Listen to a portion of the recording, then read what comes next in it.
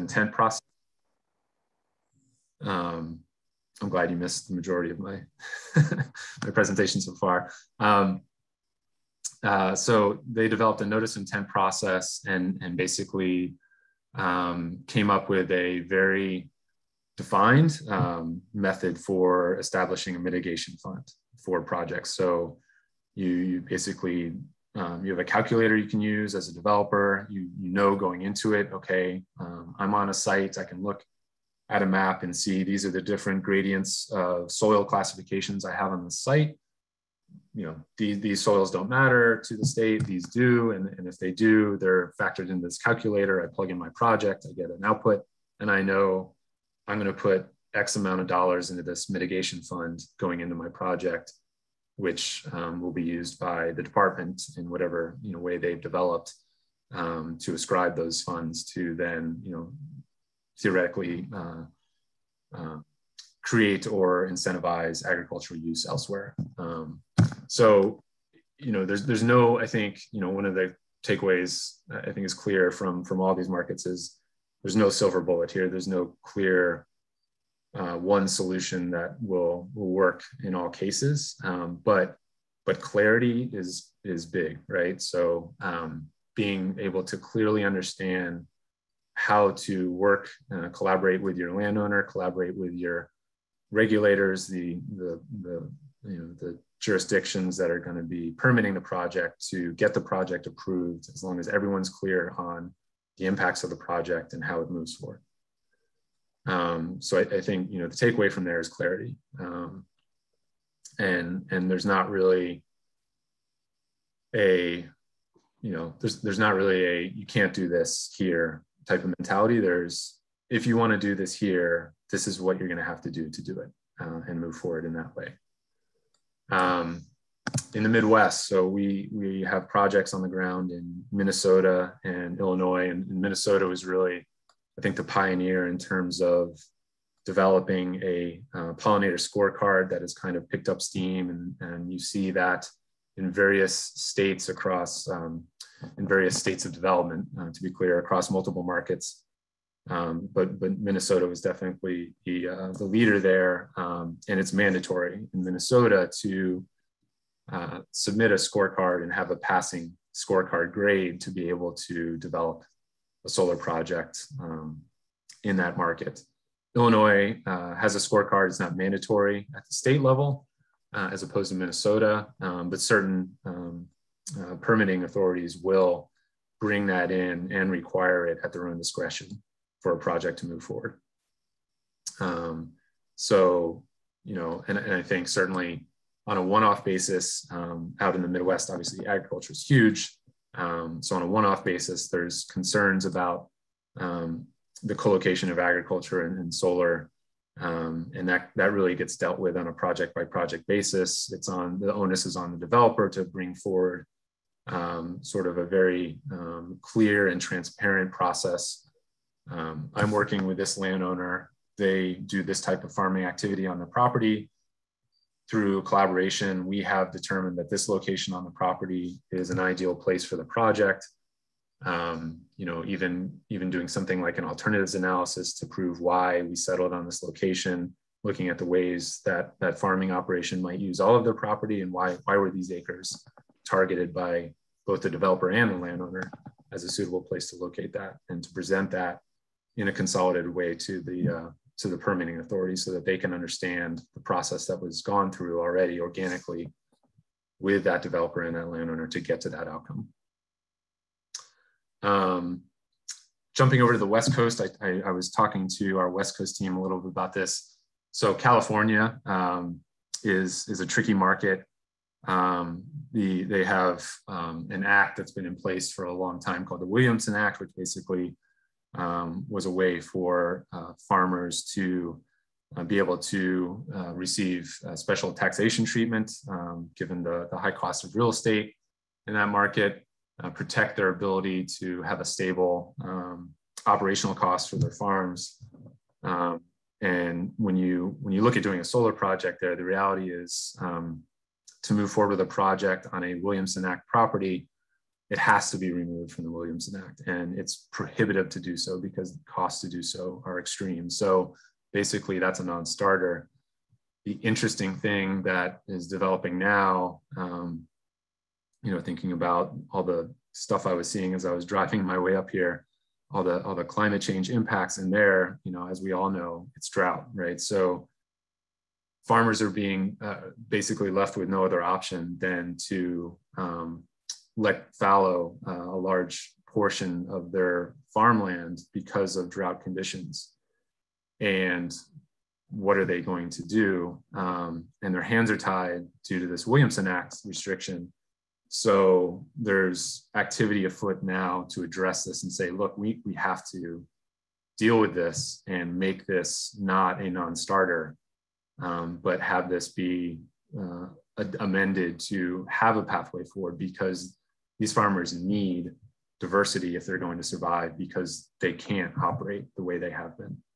Um, and, and it's nothing that anyone can control. So we have to react to that and do something about it. So um, it'll be really interesting to see what happens in California as that gains steam, but a real recognition there that um, there are there are drivers and forces that you know the solar industry, the agricultural industry can't control, and there needs to be a way to react to that in real time as it happens um, because we're all facing things now that you know we may never have dreamed we would have to face uh, in decades prior.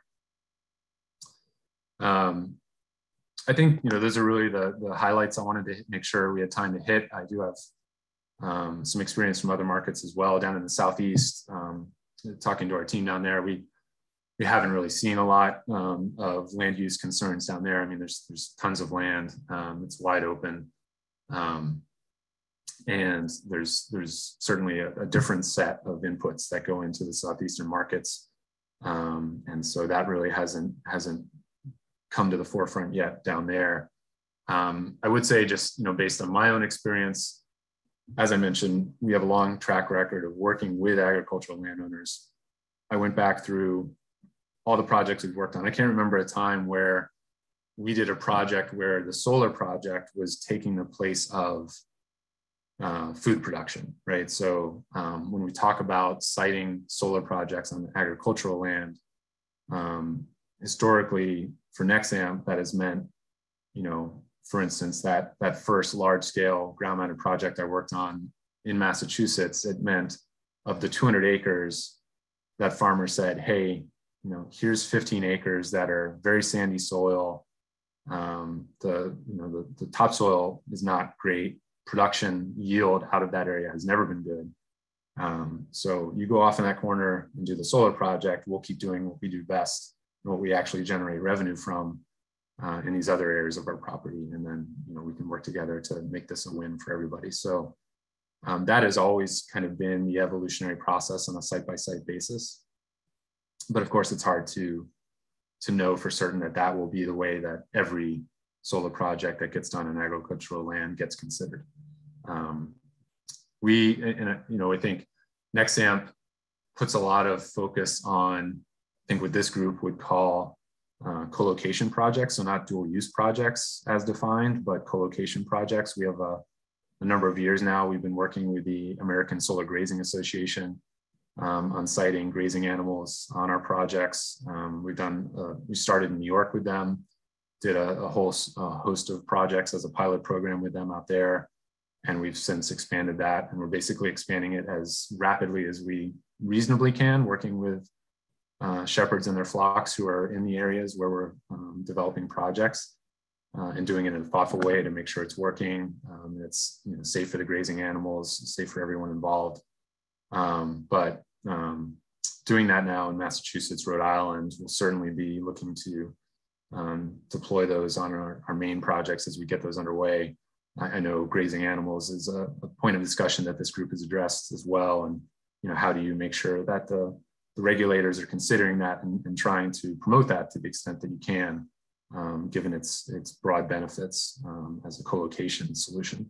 Um, we're proactively installing pollinator habitat, habitat even when it's not required. We typically try to set aside a portion of the, the solar area um, to just install pollinator habitat as a best practice.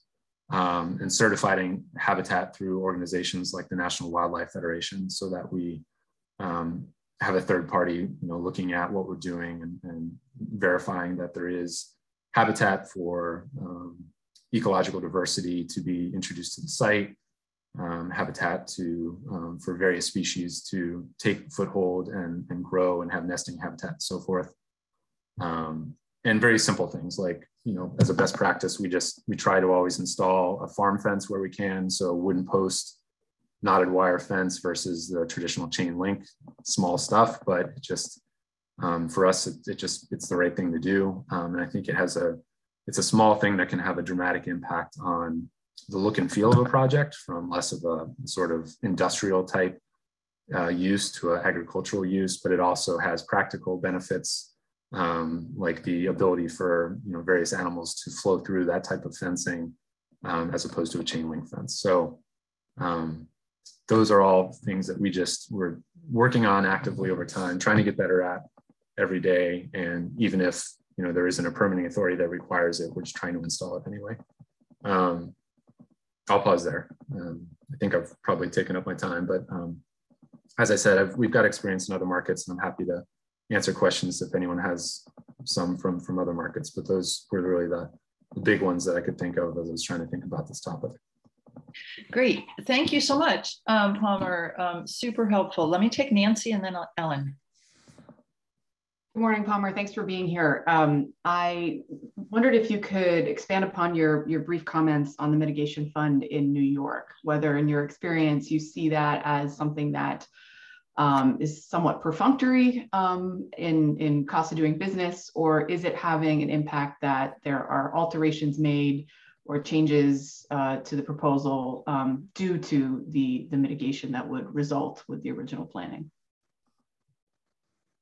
Sure. Um, yeah, I mean, I think um, it's, I, I frankly uh, do not know what the objectives are for the Department of Ag and Markets in terms of that mitigation fund. So um, I can dig in with our New York team and better understand that and report back to this group if that's helpful. Um, but as in terms of you know the actual site where that mitigation fund is being triggered, um, in, in addition to the, the, the basically the contribution to that fund, there is no other activity happening uh, in the context of that development um, that changes the way that project is brought forward for that developer, if that answers your question. So it's, you know, you, you map your project site, um, you get confirmation of the soil types that are on the project site. And I would say that goes back to that whole issue of, of the need for spatial data and then the, um, the concern that even when you have it, is it right, right? So um, the ability to go in and, and actually um, inspect and confirm the existence of certain classifications of soils um, is certainly helpful. And I think, you know, generally, from our perspective, we would we would welcome more due diligence, more, more diligence being put on the shoulders of the developer to confirm site conditions and confirm the existence or, or lack of existence of certain resources um, and verify that with the permitting authorities through the development process, as opposed to just going to a GIS map and saying, hey, you know, you've got prime farmland soils across 30% of your site. So here's your, here's your fund fee and you can move forward. Um, you know, as, as an example of kind of the, the errors that pop up in, in some of the data, um, I was working on a project in Western Massachusetts. And as Massachusetts refined its um, smart program, land use constraints. Um, you know, I think as this group has seen, there was some, some evolution of that process. And at times um, there were the flagging of prime soils, um, soils of statewide importance and so forth.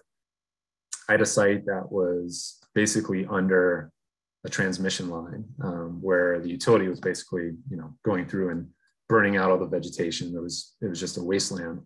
Um, and that site was, was prime soils and soils of statewide importance. And I mean, it was there was nothing there. Um, it was sand, it was gravel, it was it was awful conditions. So just you know the ability to make sure that there's some sort of mechanism to say hey wait a minute you know the, the mapping shows this but we're here on the ground and we're seeing this and we're, pulling this out of the ground that sure doesn't look like topsoil so you know, how do we address that and make sure we're not artificially stopping renewable energy where it would actually be a really good uh, solution for that particular site um, I'm, I'm gonna, before I take you, Ellen, I just want to do a time check. We're a little bit over. I think this is an important conversation. Let me check with you, Palmer. Um, do you need to step off? Do you have any time to both hear Rebecca's presentation and be present for the conversation that follows?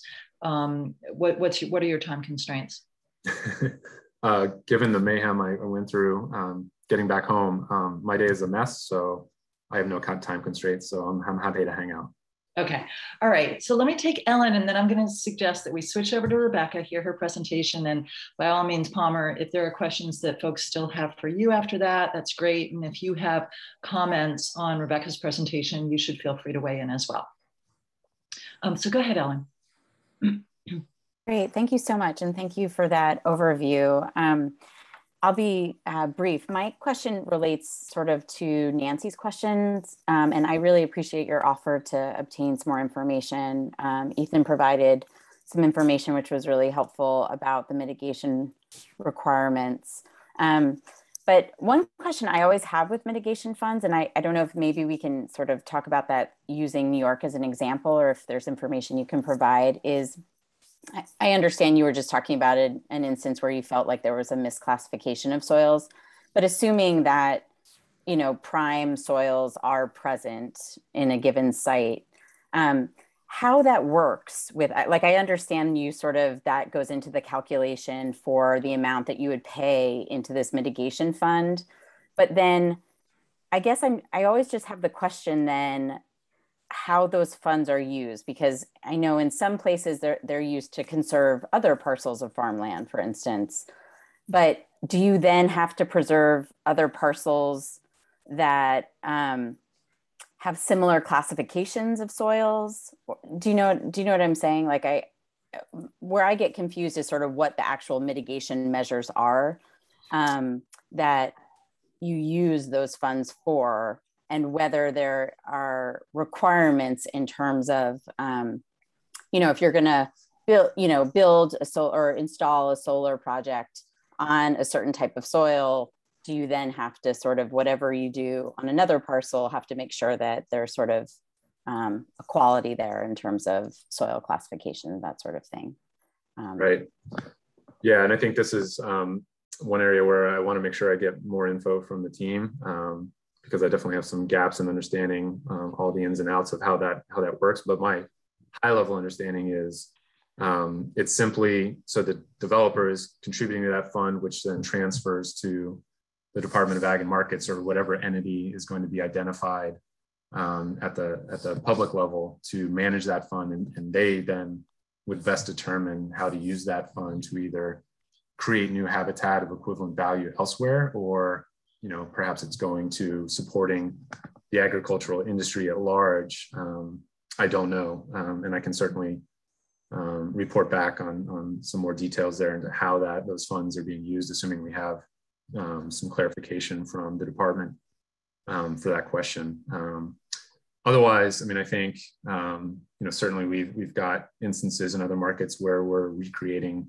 habitat as, as a mitigation to um, taking that habitat for the, for the use um, of a solar project. But typically that's been more not ag land, but um, wetland resources and other types of environments where, you know, you can reasonably recreate that ecological value. I think, you know, uh, my layman's understanding is, you know, for these soils to be classified as such, it's probably a result of them having been there um, you know um, aggregating nutrient value for longer than we could possibly um, recreate right in an attempt to establish a replacement um, area that would be equal ecological value or, or agricultural value so Um, and just uh, to note the um, the link that Ethan Winter put into the chat, um, that takes you to a two and a half page document that doesn't doesn't answer your question, Ellen, but does describe how the mitigation fund uh, mitigation calculation is determined. And in that, it mentions that the fund, you know, essentially has only been in place since, if I'm if I'm understanding this correctly, since November of last year. So there may not be a long history of what that money's been used for. Um, so why don't we pivot? Um, and thank you so much for being willing to stay um, on, on the call, Palmer, because I suspect that there may be more questions for you as well. Um, so let's turn to Rebecca and uh, with Maine Municipal Association, and you go right ahead. Thank you, Jody and Nancy and Selena and uh, members of this really important study committee. Uh, I'm Rebecca Graham, and I'm a legislative advocate for Maine Municipal Association that covers the Agriculture, Conservation, and Forestry Committee, um, where this particular stakeholder group was created. Um, I am going to provide basically a snapshot of municipal pressures, but also kind of a, a reality of municipal tax 101 uh, to try to get everyone up to speed with some of the pressures that municipalities already have uh, as a result of this development. Um, but I'm going to start initially with some property tax basics. Um, Maine is pretty unique amongst the New England communities. Um, although I think that property tax in general is heavily relied upon for the funding of government. But in Maine, um, municipal property tax is the only sole revenue source for communities. We do not have local tax options as they do in Massachusetts and other communities. It is the sole way in which um, municipal government can leverage the revenue to uh, conduct the both mandated and desired services at the local level. And currently, uh, we are, at least in 2019, um, there's been some slight improvement because of a revenue sharing shift. So it's about 44% of the duties of government um, and the revenue that is captured that municipalities are uh, affording to government services. And income and sales tax make up the, the rest of that the government, municipal government is mandated to spend certain amounts on public service activities like collecting revenue for the state, uh, developing comprehensive plans, enforcing building codes, shoreland zoning requirements, building roads, and of course, schools. And next fiscal year, for instance, municipalities are expected to dedicate 7.2 mills of their mill rate to um, carrying out public education Often local needs and federal mandates um, make that far greater. It's usually 50 to 60%, I think, of municipal tax um, that is spent on school delivery. So exemptions um, within the property tax system are based constitutionally, as you heard last time, on just value. So this is a very regressive approach, but it is an equal approach. So just value does mean, however, that low and fixed income individuals who own property, their value in taxation is based upon value of that asset as it sits in the community and not necessarily their ability to pay like the other means tested taxes. Um, the only reduction for property tax income for a low income individual would be the Homestead Exemption Act, which removes 25% of their initial value, uh, $25,000 rather, of their value um, from municipal tax assessment. And then the state refunds that lost revenue to that community, currently at 70%. And as of this legislative session, um, they're going to amp that up with a 3% um, return to that community until it reaches a, a 100%, hopefully going forward. That allows uh, lower income individuals with lower value homes to see a reduction uh, in their property tax. And sometimes that could be all or, or most of their bill, depending upon that, that particular piece of property. Uh, the level of exempted property within any community dramatically shifts that burden onto the residential property taxpayers. Some communities, such as Brunswick, have a really large um, mill rate and a significant amount of property that's in the nonprofit uh, tax system. So it, it causes the pressure on housing, which we all know is a, is a huge problem um, and puts rents as well as uh, affordable properties for working class individuals completely out of reach in many of the, the burgeoning communities. So while constitutionally about 50% of that value is supposed to be returned to the community um, from the state, because it is a state required policy, that hasn't happened. That appropriation has never um, occurred. And it's the same for government buildings that are situated in those communities. Again, uh, communities don't get that. The tree growth program is currently um, the only land program where partial value of that land that is enrolled is returned to the community from which it was lost. Both tree growth and current use don't base that evaluation on highest and best. They value it on the current actual use. So the tree growth program uses a calculation that's based on the wood mix that's on that land. And then there's a, a, complicated formula that involves the countywide assessment as well as how much that community spends on schools that determines what that burden shift is going to be. However, there is at least some revenue that comes in. The current use isn't based on highest and best use, and there isn't necessarily that involvement at the state level. Um, or any sort of return to those to the property taxpayers for that lost value. Both programs lower the state valuation on the land in the community um, and they shift that burden onto the non-classified property. However, this was something that was constitutionally enacted by Maine voters because they believed in the protection activities that these programs were meant to establish. And when they did so, they had a clear understanding, which is also protected um, in the Constitution that there would be penalties for that landowner uh, not following their agreement for that burden that they were assuming on that local level. It's a very localized level. So to that point, um, these numbers come from the Maine Revenue Service as the total valuation of acres in the state of Maine that are in open space. Uh, and the number of acres that were withdrawn specifically in 2019 was a very small amount of acreage that was withdrawn from the program. And those are the penalties that were assessed on that piece of land, which I believe is in York County. So um, there is at least some benefit for the community that has been returned historically by uh, lands that have been withdrawn from those programs. And that's, that's essentially what the Maine voters approved of. So this is the, the portion of the Constitution that contains those provisions, um, as well as the requirement for penalties to be enacted for the removal of that. And there are very specific um, allowable uses within the open space program and the farmlands, uh, as well as the tree growth program. The tree growth program actually has a more robust, currently under open space, it's a five-year look back under tree growth, which also has a extensive um, management plan that needs to be in place and a commitment for ongoing management of those lands appropriately to maintain them, their productivity. Um, that has a 10-year look back. And it also has a significant, um, a, a significant burden shift. So we pulled this one town to show, to give you an illustration of the one program where municipalities are getting um, some value of that lost um, valuation back to their community. And we used Rumford because it has uh, quite a bit of acreage in tree growth with their mill rate and their population.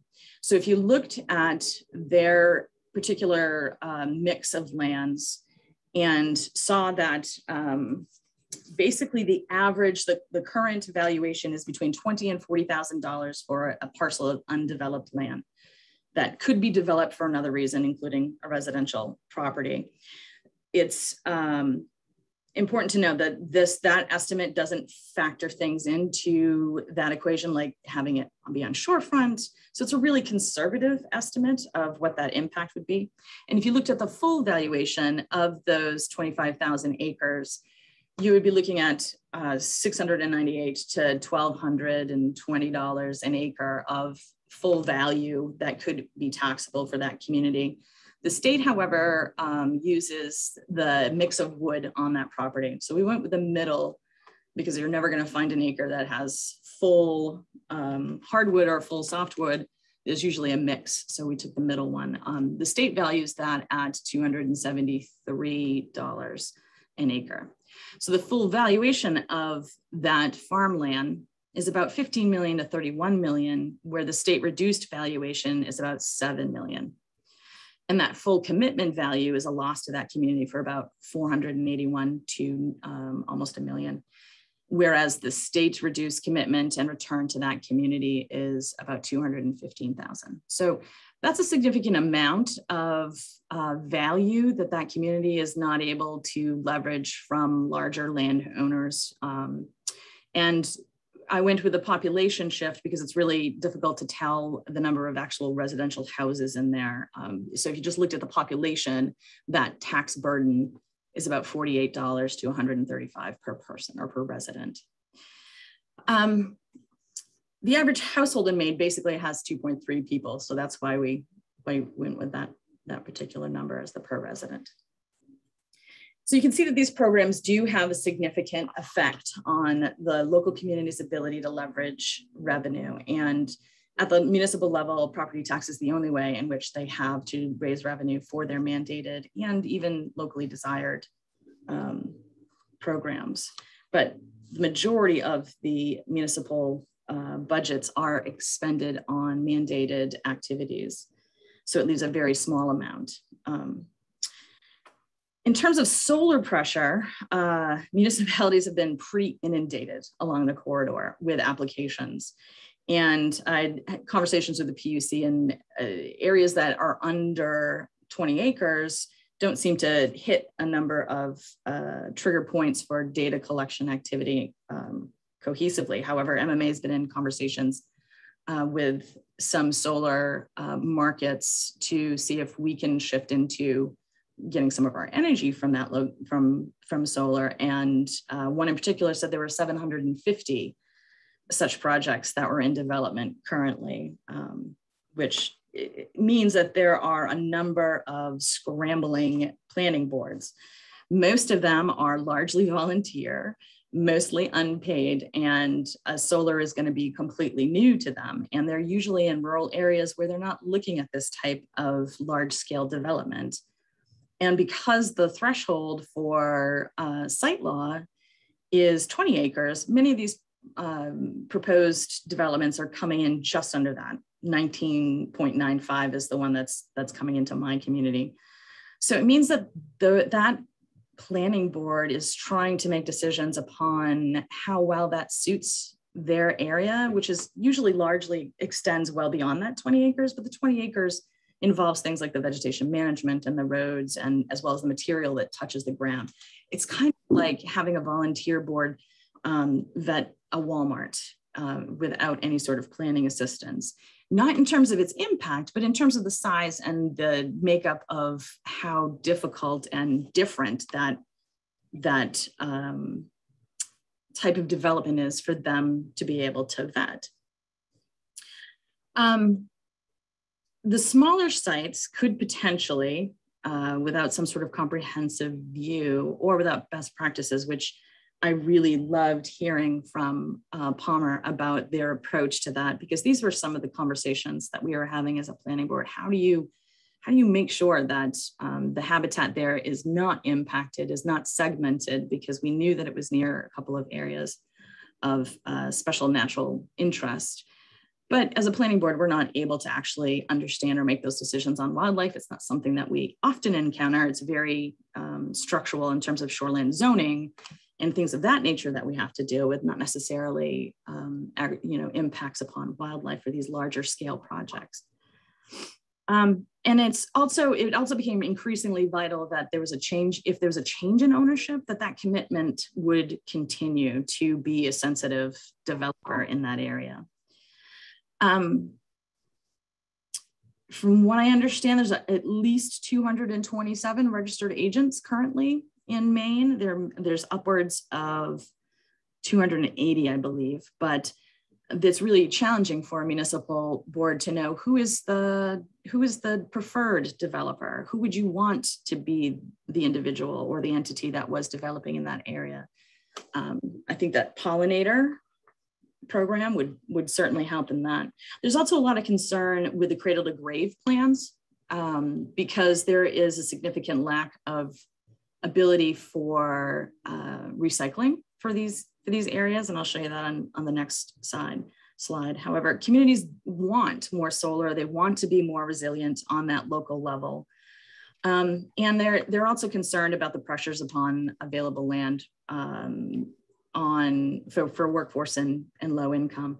And this has been mostly from the land purchases that have happened. It's not necessarily agricultural setting in general. It's just that along the mid-coast area, there are swaths of land that are close to the grid that have been purchased at full price by these entities to, for this development. But it certainly does remove um, any sort of land that could be developed for workforce housing, which is also a huge pressure in those communities. Um, let's see. So this area shows you where the, the closest recycling entities are for full solar um, to Maine, and you can see that it's pretty far off. And municipalities have had some traditional historic issues with normal utilities, with things like abandoned poles in the public right of way, um, which were allowed to be there at no expense to that utility owner. And it's kind of created this tragedy of the commons response when you're trying to find an entity who's responsible for this. And you often get, because they've been outsourced, shunted to three or four different places. So there's also a concern too about um, the, the particular entities that are developing, having some sort of cohesive communication for issues that crop up on that local level. If there is some sort of storm damage, who is it that you call to have that um, dealt with? And where is the municipal ability to deal with it in the in the ability or in the event of some sort of emergency um, there's been a lot of uncoordinated communication between those parties, parties within the traditional utility um, sphere. So we are concerned that there, there isn't um, necessarily a, a, stream for that in this new emerging. Um, so basically, yes, recycling and remediation are top of mind, um, along with that historic experience, uh, the, the disaster communication piece, and how to, how to determine whether or not a responsible owner is who that developer is. I think that there are a number of ways in which there could be some sort of more robust um, reporting mechanisms that would help communities make those decisions and also make them more sensitive, you know, sensitively. Um, and obviously the, the experience that they've had, uh, there are a number of communities that have had abandoned solar um, arrays that they are left to clean up. So um, making sure that that remediation piece is in there and that the underground infrastructure piece is also removed. So uh, what is striking in a number of the communities in Southern Maine is how do you incentivize more appropriate development and development in areas where there are already existing issues, you know, maybe stormwater runoff as well. Um, and from what we understand, basically what we've heard that construction costs are far more expensive in these areas, but there are opportunities to look at existing developed areas like malls and parking garages and dark store sites that aren't allowed to have retail that are becoming a huge municipal issue as well.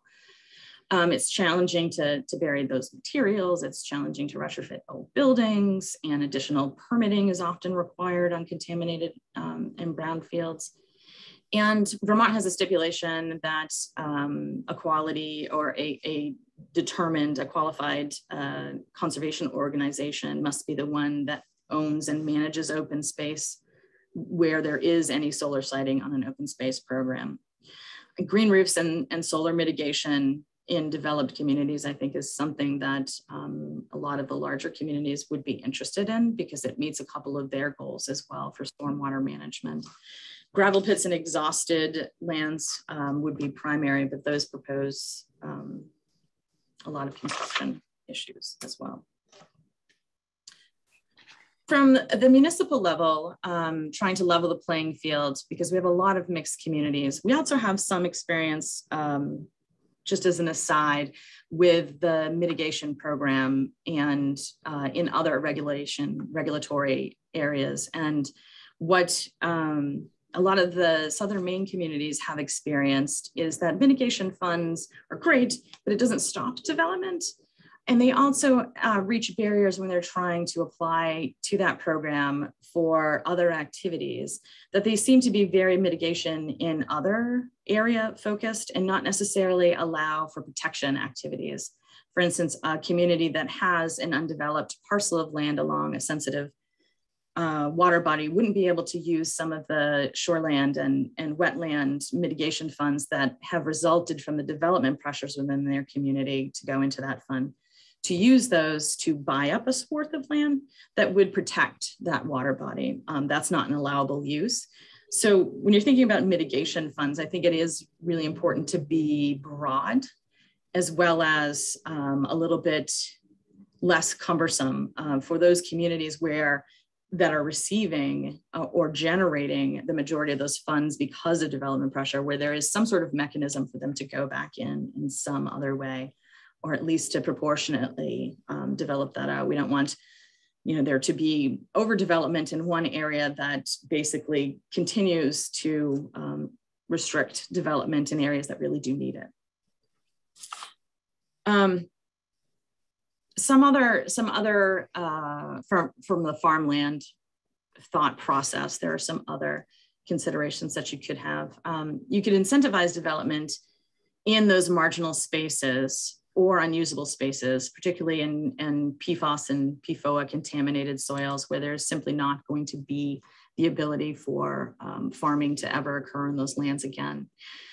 You could require that any uh, projects be co-located activities on existing farm, both in production and generation. Um, you could incentivize more structurally challenging built environment focused product uh, projects you could fully fund um, the municipal reimbursement portion of the current use program to ease that local pain, uh, particularly if you're going to ask for another um, statewide constitutional amendment that would allow the use of, of solar on these agricultural lands.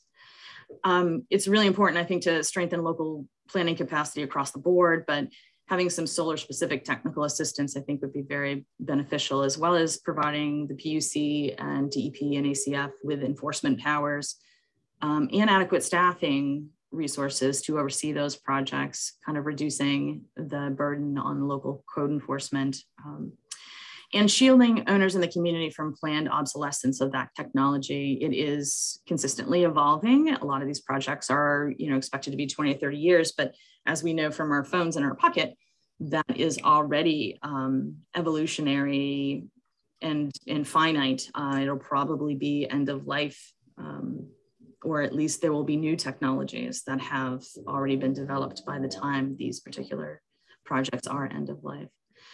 Um, closing loopholes that may allow land in one program to roll into another one with no penalties for the purpose of solar farms. There, there is a loophole currently in the tree growth law that allows someone who is in tree growth and that community is receiving funds for to roll into open space um, without a penalty. And that might be something that you want to consider if there's going to be solar siting that um, that not be an allowable uh, abatement of that penalty for that specific um, reason.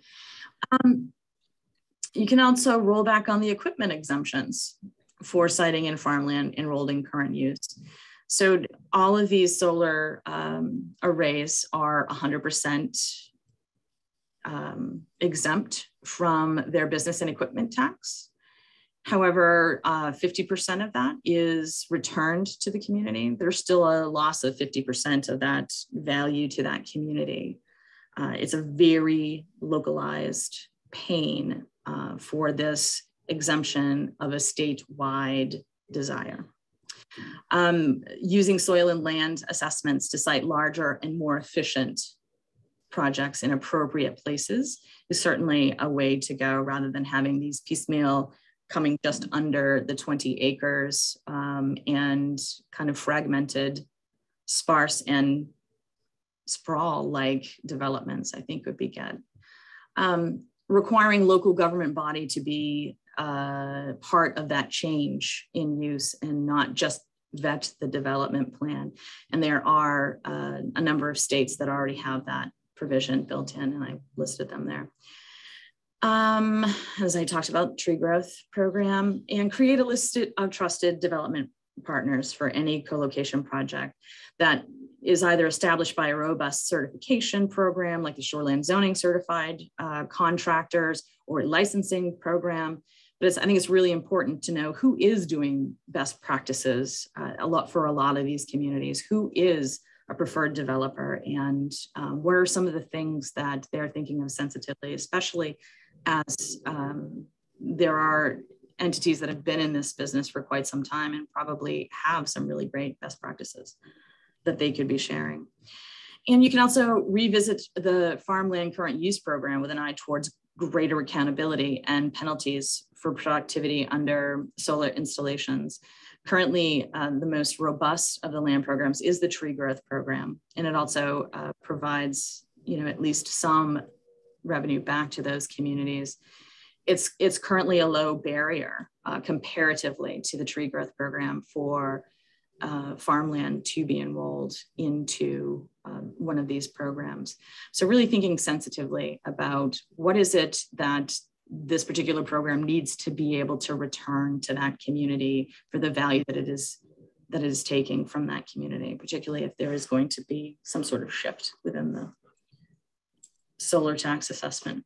So I stuck some additional reading into the slide and I'll um, spare you the details on that. But there is um, some important background on the use incentives to keep land in productive farm and fishing uh, use that came out of the Land and Water Resources Council. I've included a link to that. All of the issues that, I, that were identified in 2001 are still alive uh, and kicking 21 years later.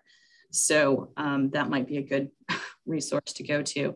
Also the DEP certified contractor. I mean, if, if there was a program to uh, create some um, certification for appropriate solar developers and thoughtful solar developer, uh, developers. I think it might narrow down the 280 some plus entities that are coming into the state um, that are all really hungry for these particular projects. And then a couple of um, long-term effects for the differential treatment between open space and large landowners.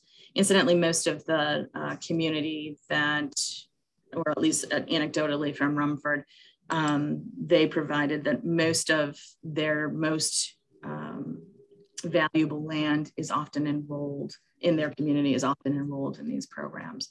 So automatically there's a, there is a big shift there that would be would exist in rural areas that might not exist in more developed communities. So with that, I'll be happy to take any further questions. Awesome. Um, uh, yeah, so let me just make, great. Um, so I can see everyone. George, you go ahead. You've had your hand up for quite some time. Uh, you're on mute.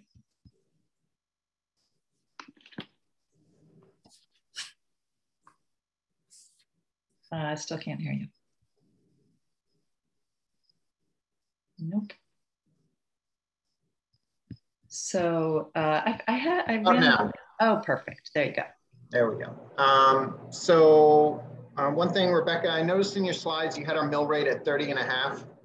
Um, we're at 2260 right now because of a townwide revaluation, which is might potentially have a pretty substantial effect on some of the numbers that you had. Um, but I realized that if you're trying to do 2020 numbers and to do a study there, that's um, you're kind of stuck with whatever you had for data but um, you know that that mill rate is really been adjusted significantly um, as a result of townwide revaluation. Um, population also, uh, you're a little low, uh, and I actually struggled to find where where where did you get your population figure from? I got both of those numbers from your assessor. From the assessor, okay. Mm -hmm. So assessing I'll check with them, but they, they got the population number wrong. And I don't know why they got it wrong, um, but they got it wrong. Um, our population right now, as of the, even as of 2019, our population estimate with the Census Bureau was 5,744. And as of um, April 1st of 2020, we're actually at um, 5,858. Uh, so those are just some numbers for reference there.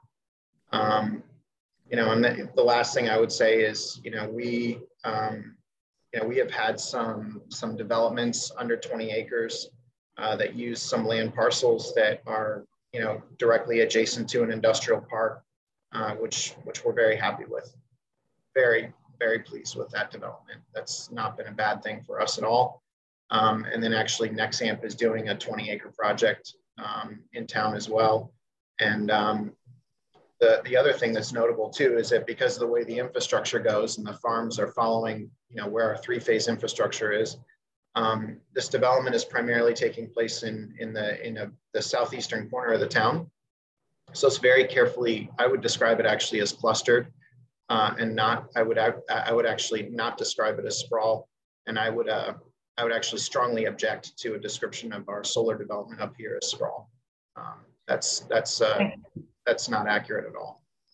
Thank think, you, George.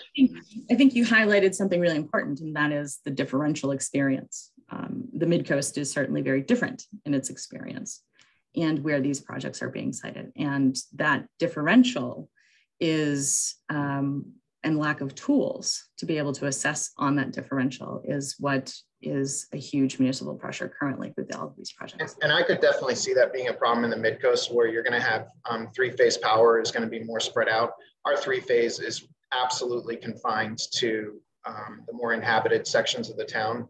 Um, we have wild, I mean, quite frankly, wildlands uh, in the northern and western corners of the town where uh, not only is there no three phase uh, up there, there's not going to be, there's no three phase for miles uh, at a time. And that's one of the reasons why um, we're sort of comfortable with, um, you know, I, I can advance um, or encourage solar development here um, comfortably, knowing that it's financially infeasible for it to occur in the parts of the town where we do have um, uh, uh, wilderness wilderness areas or um, you know other other other parts of the town for for that.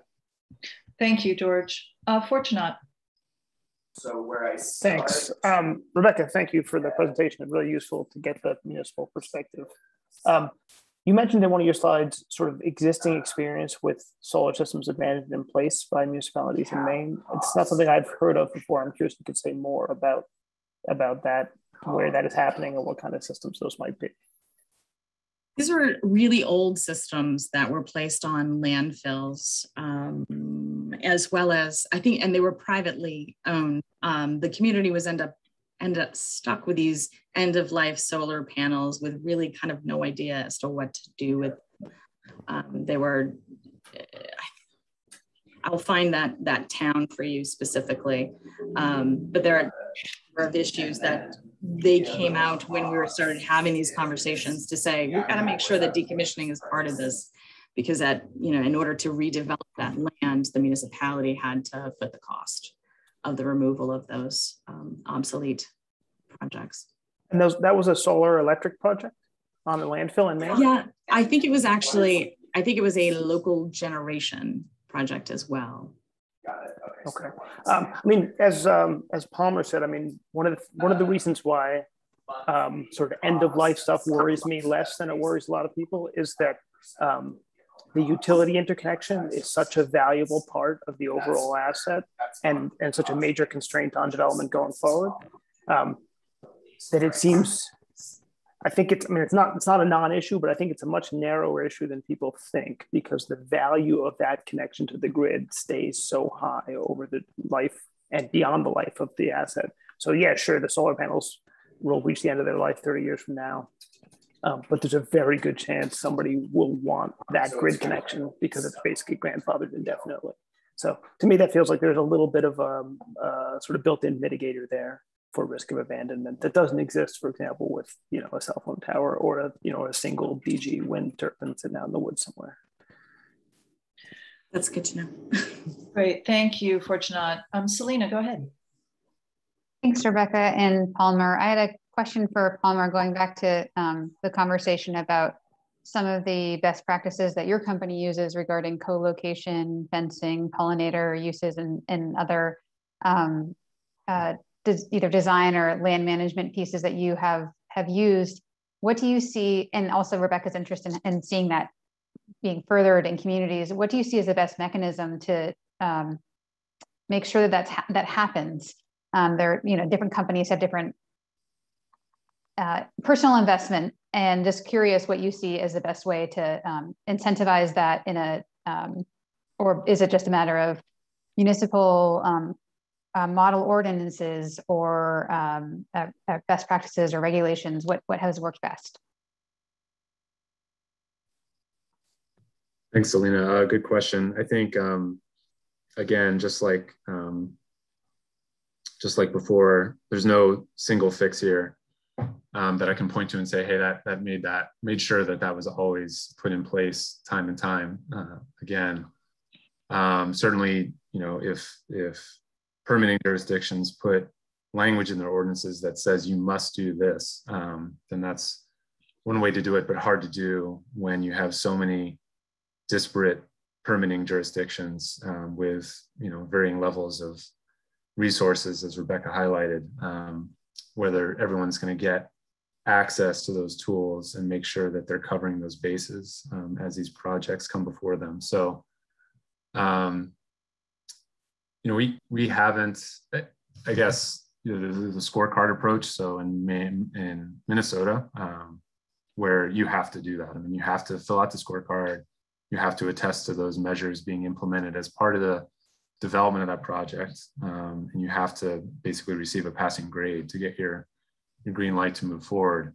Um, you know, if you have some sort of documentation that says this project has been approved based on these conditions that this applicant said they would do, and if they don't do it, they're in violation of the approval. Um, and sort of getting to a little bit of Rebecca's concern about who are we dealing with, not just at the applicant stage, but going forward, um, ensuring that there's documentation in place that says this project must come with these attributes that will serve um, those concerns about habitat creation and so forth. And if it lacks them at any point, it is in violation of its approvals and must, you know, cure those defaults um, or risk losing its approval.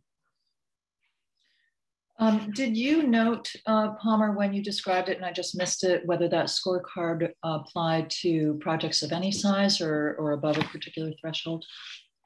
I would have to go double check. Uh, I'm not sure what the bounds of that scorecard, and it varies. You know, Minnesota is, I think, the best example just because it's it's mandatory, but um, there are probably eight to ten other states that have some form of a scorecard, and aggregated them over time. So I can I can go dig them all up. Um, there's a lot of shared um, inputs across most of them. Um, some of the Mid Atlantic states have them. Um, Vermont has one. Uh, Massachusetts has a, a very rigorous uh, program through the UMass Clean Energy Extension. Um, I would say it's the most robust uh, in the country, perhaps. Um, and I would also say it, it comes with some uh, acknowledgement of that because the end goal is the developer receives an incentive for implementing that. So if you make it that tough, um, you know, th there needs to be some sort of a way to uh, help the developer um, you know maintain that burden. Um, so mm-hmm. there is an incentive in Massachusetts for receiving that certification through that entity. Um, but otherwise, yeah, I mean, we, we have copies of those scorecards um, from all those markets and can certainly share those if that's helpful. Great. Thank you so much. Um, so I am conscious of the time. We're over uh, by, by a fair amount right now. So I'd like to suggest that we wrap up this part of the agenda and thank both Rebecca and Palmer for their time. And um, let me just get a, a, sense of like thumbs up or or shaking your head no. That would you find those scorecards from other states helpful information to have um, to possibly build on? You know, I'm constantly trying to figure out how to move this group toward like you know product actionable items that come out of this process. Would is that of interest to any of you? Yeah. Okay. Um, well, if that were, if that really is something you're willing to do, Palmer, that would be great. Um, and perhaps we could include some or all, depending on the length of it, of what you provide in the next meeting packet. And um, our meetings are monthly and we send a packet out one week in advance. So it would basically give you a couple of weeks to, to pull that together if that would be possible. And we can have an offline conversation about it, but that would be sort of be the timeline that we're looking at. Yeah, absolutely. Okay. All right. Well, thank you so much, both both uh, to you and to Rebecca, and you're more than welcome to stay on the line if you like. Um, so then let's shift. Um, and um, what we're talking about next is sort of this matrix or tiers concept that uh, was discussed and introduced at the last meeting. And as I mentioned, um, uh, Ethan Winter with American Farmland Trust has offered to uh, present the group's work. Um, there were two subgroup meetings or calls between the last meeting and this one. And, um, and feel free to share your screen, uh, Ethan, so that um, the group can see your work. Great. Yeah, it's visible. Are you all seeing that okay? Yeah. Yeah. Great. Hi, everybody. Um, I am filling in for Emily Cole.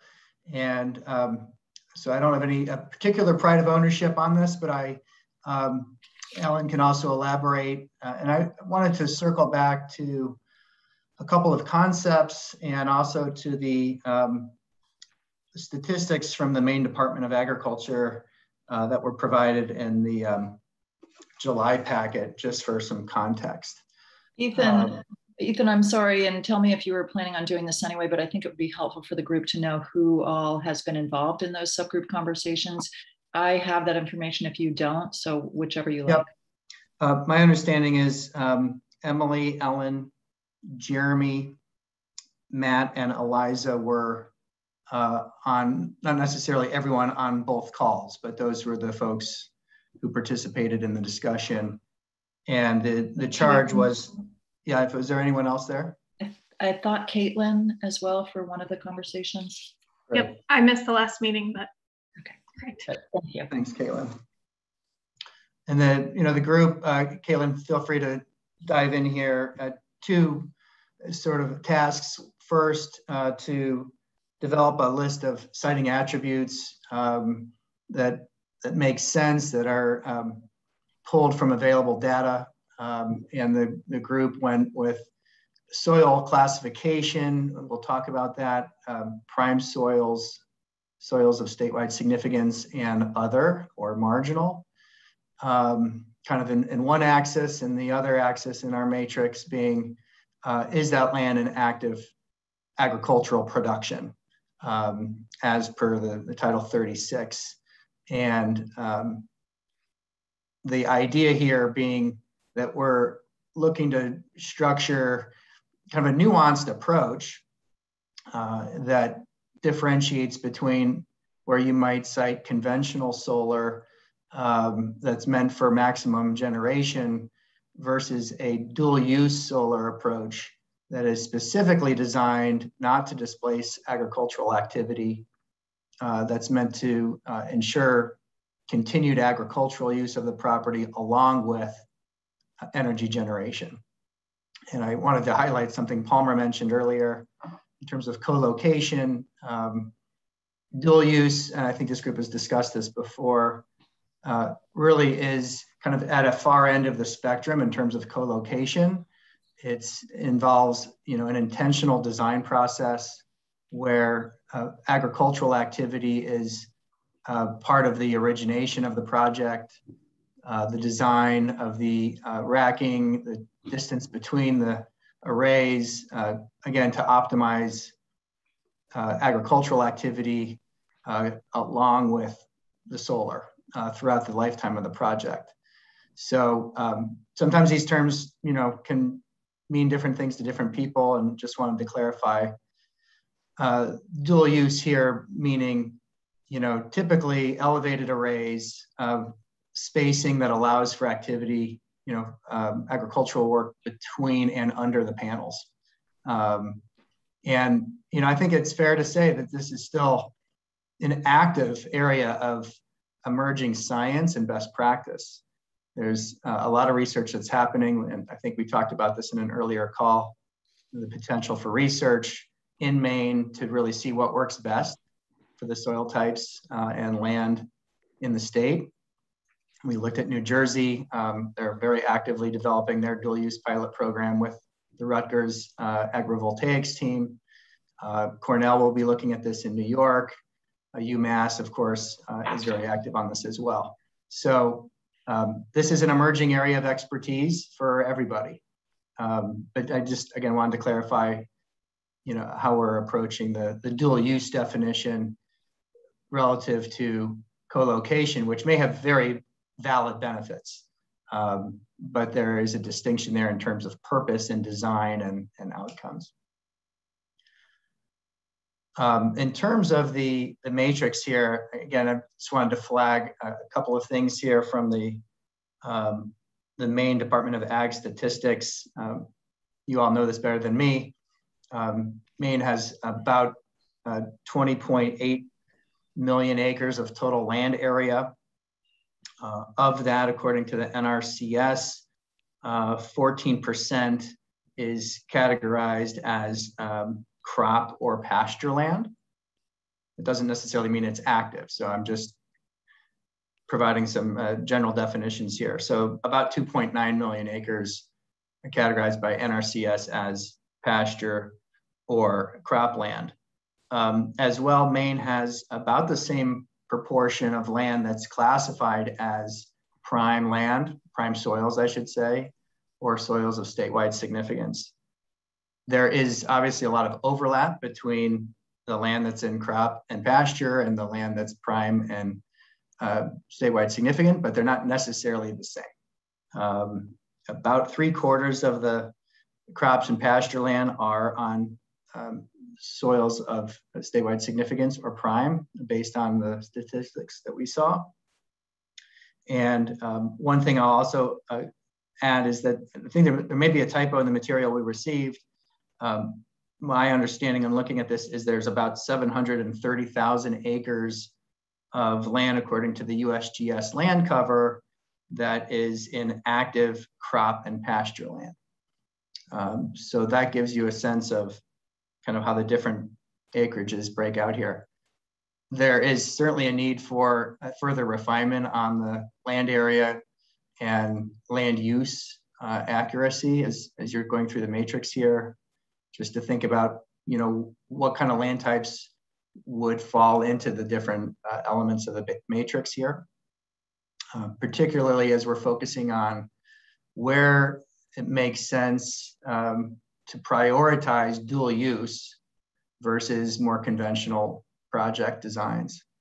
Um, and obviously, just to highlight here, um, my understanding from the group, and I'm going to quickly shift over to Ellen and others to opine on this, is uh, you know, really focusing on incentives uh, for dual use where you have both prime soils and statewide significant soils in active production um, as well as where uh, it may be inactive, but still quality soils.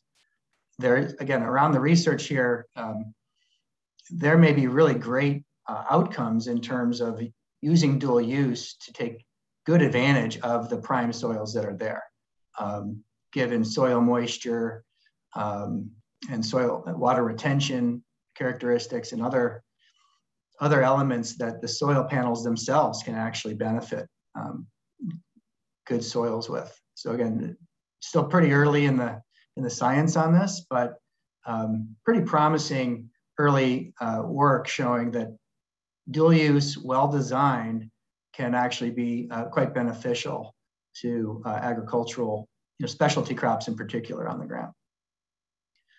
Um, one thing I'll add too, of course, blueberries are uh, a famous high value specialty crop for Maine. Um, and I, one thing we wanted to better understand is how those soils are classified. They, they may not actually fall under um, prime or, or statewide significance, um, but obviously it's supporting a high value crop. Um, and we would want to think about dual use in a, in a way that supports uh, blueberries. And there's at least one project now that's doing that in Maine, up in Rockland with uh, Blue Wave uh, that I think Caitlin could talk about. Um, maybe I'll pause there and um, let the working group comment on how they came up with the, uh, the terminology here, if they have any questions. I, I was just going to add um, to your point, Ethan, about um, wild blueberry barrens. Um, I, did check with our land staff, and in our experience, at least, um, though that agricultural land typically falls outside of the prime or statewide important designations, sometimes they are designated as soils of local importance. Um, but I will say, I mean, we do, as you mentioned, absolutely consider that to be sort of good agricultural soils, and we actually treat that land um, as representing good agricultural soils when we do our sort of purchased easement formulas for figuring out how much to compensate a farmer for protecting that. So just mm just want to add that.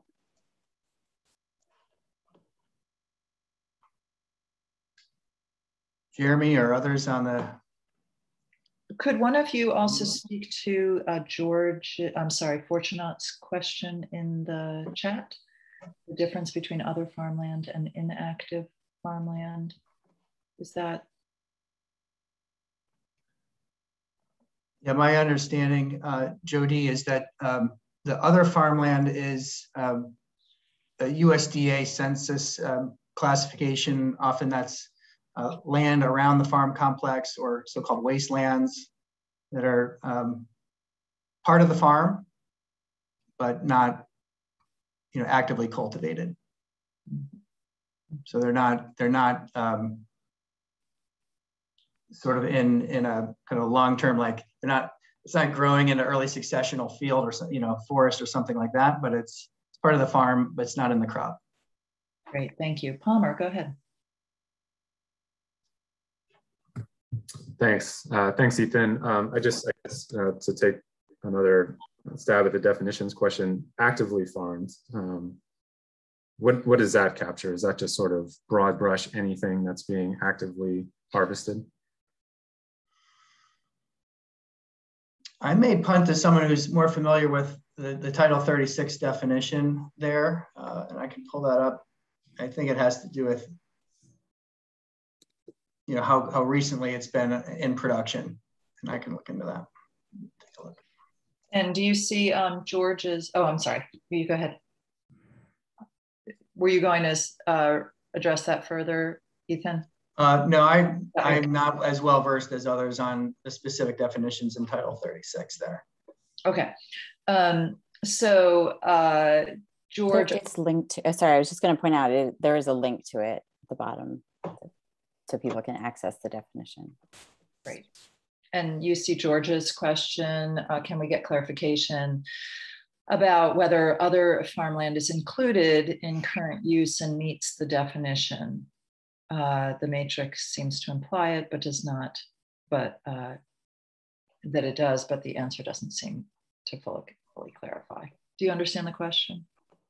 I'm not sure I do. George, do you want to um, ask it verbally what you're what you're wondering about? Yeah, sure. So in other farmland, so um, uh, if something meets the definition of farmland, um, I have it. I have the statutory definition up here, and the statutory definition basically says there's annual gross farming income of at least 2,000 per year. So I guess maybe that's the concern is that the Title 36, Section 1102 definition, in essence, basically says that something is being actively farmed because there's income implied in that definition. So uh, I'm trying to understand if he's using the definition to imply five acre parcels only that are at a farm or uh, just trying to pick that apart. I think this is a really good matrix, by the way, if, if I'm understanding it correctly. Um, any responses from anybody who's worked on this as within the subgroup? I mean, I think that we sort of struggled with sort of using definitions that are sort of um, codified, right? And so um, that was an area we could use that definition. I agree with you. I think the $2,000 sort of implies there's some agricultural production happening. You're right that that does definition does include wasteland, um, but I think because it's in that for you know current use taxation, is being used for a slightly different purpose, right, than we would be using here. Um, and I think you know one of the things we have to figure out is the sort of um, determinations of of active versus inactive and and how we would go about verifying that. I think is something that probably needs to be explored. Um, Fortunat. Um, one quick comment and then a question. Um, I think to Ethan's point, it is useful for us to, to first of all agree on and then start using the words co-located and um, dual use you know to mean what we think they mean. And and to that end i think everything in the middle column and the bottom left of the matrix maybe could say encourage co-located development. So it's clear that it is sort of um, along, alongside a farming activity. My question uh, is about the third column inactive farmland. Um, if we are saying encourage dual use in those, is the idea that we think that the presence of solar development activity will actually turn, will be enough sort of additional income generators to turn inactive farmland into active, or what's the mechanism by which that becomes active again? Because it's not dual use if there's nothing happening there, right? Um, Fortunat, is the background noise in your office? Because it's hard to hear you. Uh, did, did everybody hear the question that Fortunat posed? It is oh. in my office and I'll move. Okay. Um, uh, could you repeat what you were asking, please? Yeah, my second question was um, about uh, dual use in the inactive column and um, whether whether that implies that we think that um, doing development on inactive farmland will be enough to make make uh, currently inactive agricultural land active or you know what's the mechanism by which you do dual use on a piece of land that is not actually farmed. Mm-hmm. Mm-hmm. anybody in the subgroup want to comment on that? You're wondering whether the more appropriate term there would be co-location?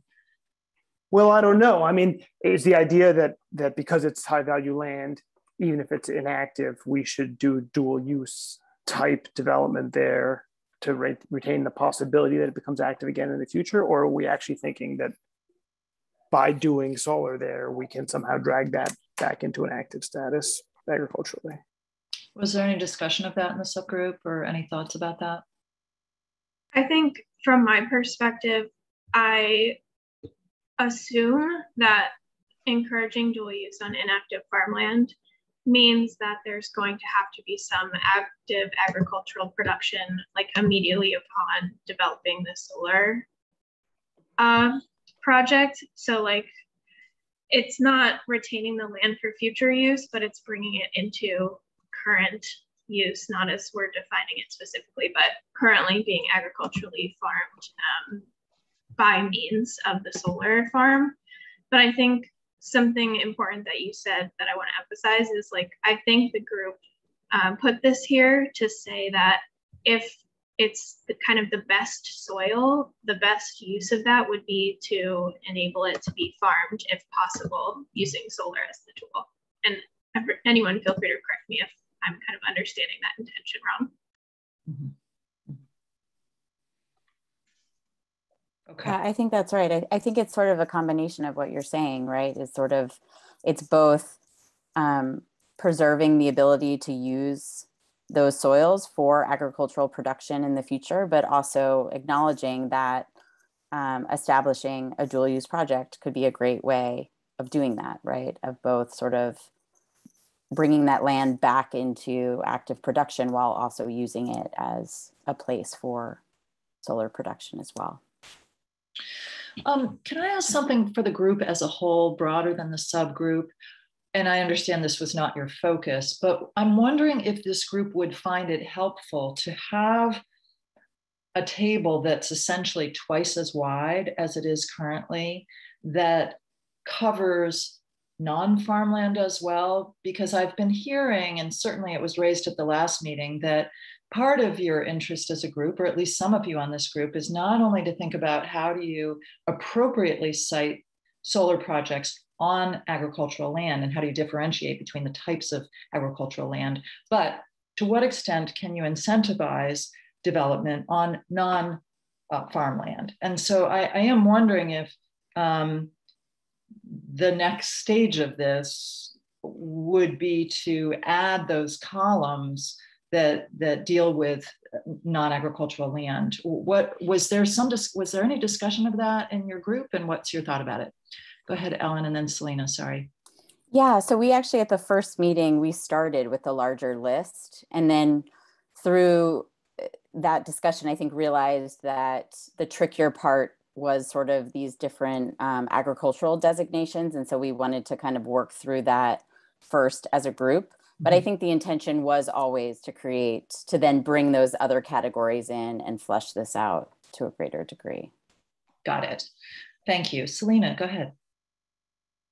I think that it makes, you know, I don't have an issue with in one place listing the types of development areas that could be uh, beneficial to focus on and having that in, in some form here. But I do think we have to stay focused on how we laid out the work of this group to start and really focusing on the solar, I'm sorry, on the solar prime um, prime mm-hmm. agriculture and statewide, with the statewide significance and focus our recommendations and efforts around that. I will flag that there is a, um, as a result of legislation, uh, there will be some effort around planning future solar um, programs uh, that will be a stakeholder effort that will take place um, separate from this group, looking at how to um, shape the future of so solar um, DG programs in Maine. And I think uh, delivering uh, something uh, to that group would be helpful and maybe making a, a, note that there are areas outside of agriculture that may make sense to incentivize or to shape your program around,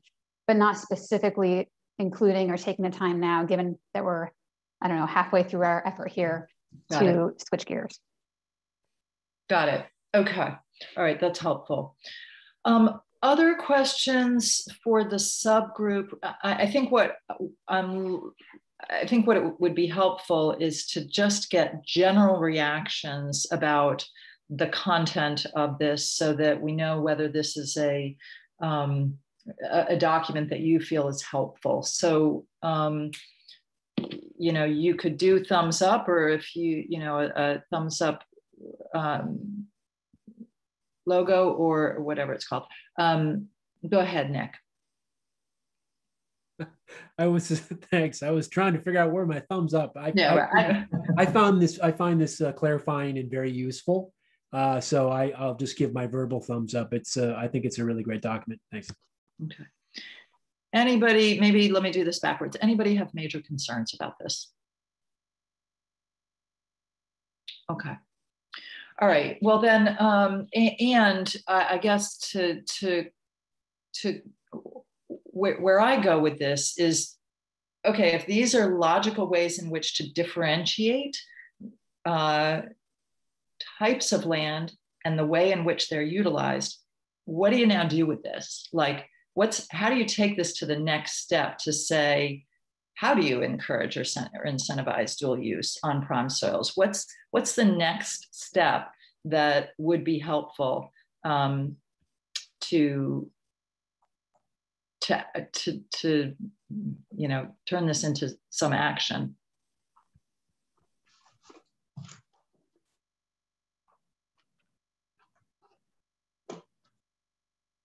well jody i'll just again as the group is aware um, where this has first really rolled out in massachusetts with the six cent adder um, you know that's that's an example of, of how you can incentivize I, I think this group understandably sees that that is a pretty restrictive program.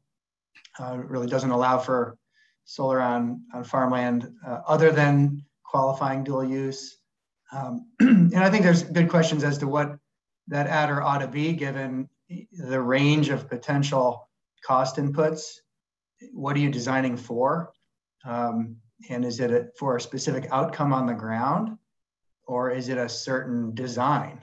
And those aren't necessarily the same thing. Um, I think that's that's part of the the research that's happening now is, you know, how how important is it for the panels to be six feet versus eight feet versus 10 feet off the ground, uh, depending on what you're growing and where you are, right? Um, and obviously, the higher you go um, and the more spacing you have, the higher your costs. And there are valid questions around who pays for that. Uh, if it's you know ratepayers uh, or you know that's potentially eating into margins on projects. Um, New Jersey is going to be actively working on this and would encourage um, members of this group to continue to stay engaged with um, folks there. And we're happy to make any connections if that's helpful. Um, but there, I think that's a bit more of an expansive program there. Um, they really want to see uh, experimentation and uh, the incentives have not been defined yet for how dual use is going to work in New Jersey. Um, so we don't know yet, you know, what just how strong an incentive that's going to. Great. Um, let me take Ellen and then uh, Nick and then Palmer. I was just wondering if this would be helpful. This is sort of like how I would think about this. Um, is sort of for these categories where we want to encourage, you know, we've had some great presentations about um, different tools that different states are using, but if we wanted to sort of like put together a list of what those certain tools might be for these different categories um, and also identify what research might be needed to really flesh that out for Maine. Um, because I think that's another big piece of this, right? We may all agree that we want to, you know, provide adders for certain types of projects, but doing that economic analysis of what is enough, right, to be able to support um, developers in providing in producing those types of projects while also without tipping into sort of an area where then it becomes cost prohibitive um, for ratepayers. So I don't know. I think both like coming up with a list of all the different options that we could be thinking about, but also what the missing information is for some of those options, at least for my perspective, might be helpful as the next step. Um, before I take others' uh, thoughts, um, what are, uh, can we find the thumbs up? Can we pretend for a moment that some other symbol is thumbs up if we're not finding it? Is there that symbol? Um, okay. Um, so uh, if if anyone could, I'm just struggling with the technology here for a moment. If uh, can you do a, can I see you do thumbs up if you think that that's a good idea? Can you have her uh, just recap it real quick again, uh, Jody, please? Thank you. Yeah, Ellen, I'm going to ask you to do that.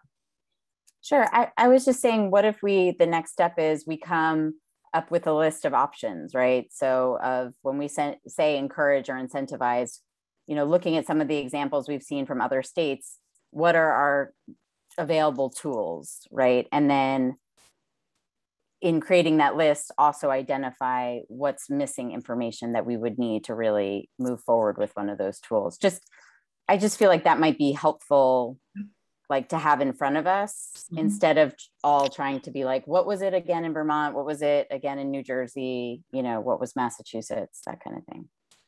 Are there um, folks on the group that would be willing to work on that? I'm, I'm going to assume that ellen you may be willing but i think always um, it's helpful to frankly have um, you know, the mix of representation that we have on this group in an ideal world, we would have a farmer, we'd have a solar developer, we'd have an organization that represents um, agriculture. So, uh, and whatever the other categories are. But um, I think that that makes for a better end product. Um, is there anyone else that might be willing to work on that with Ellen?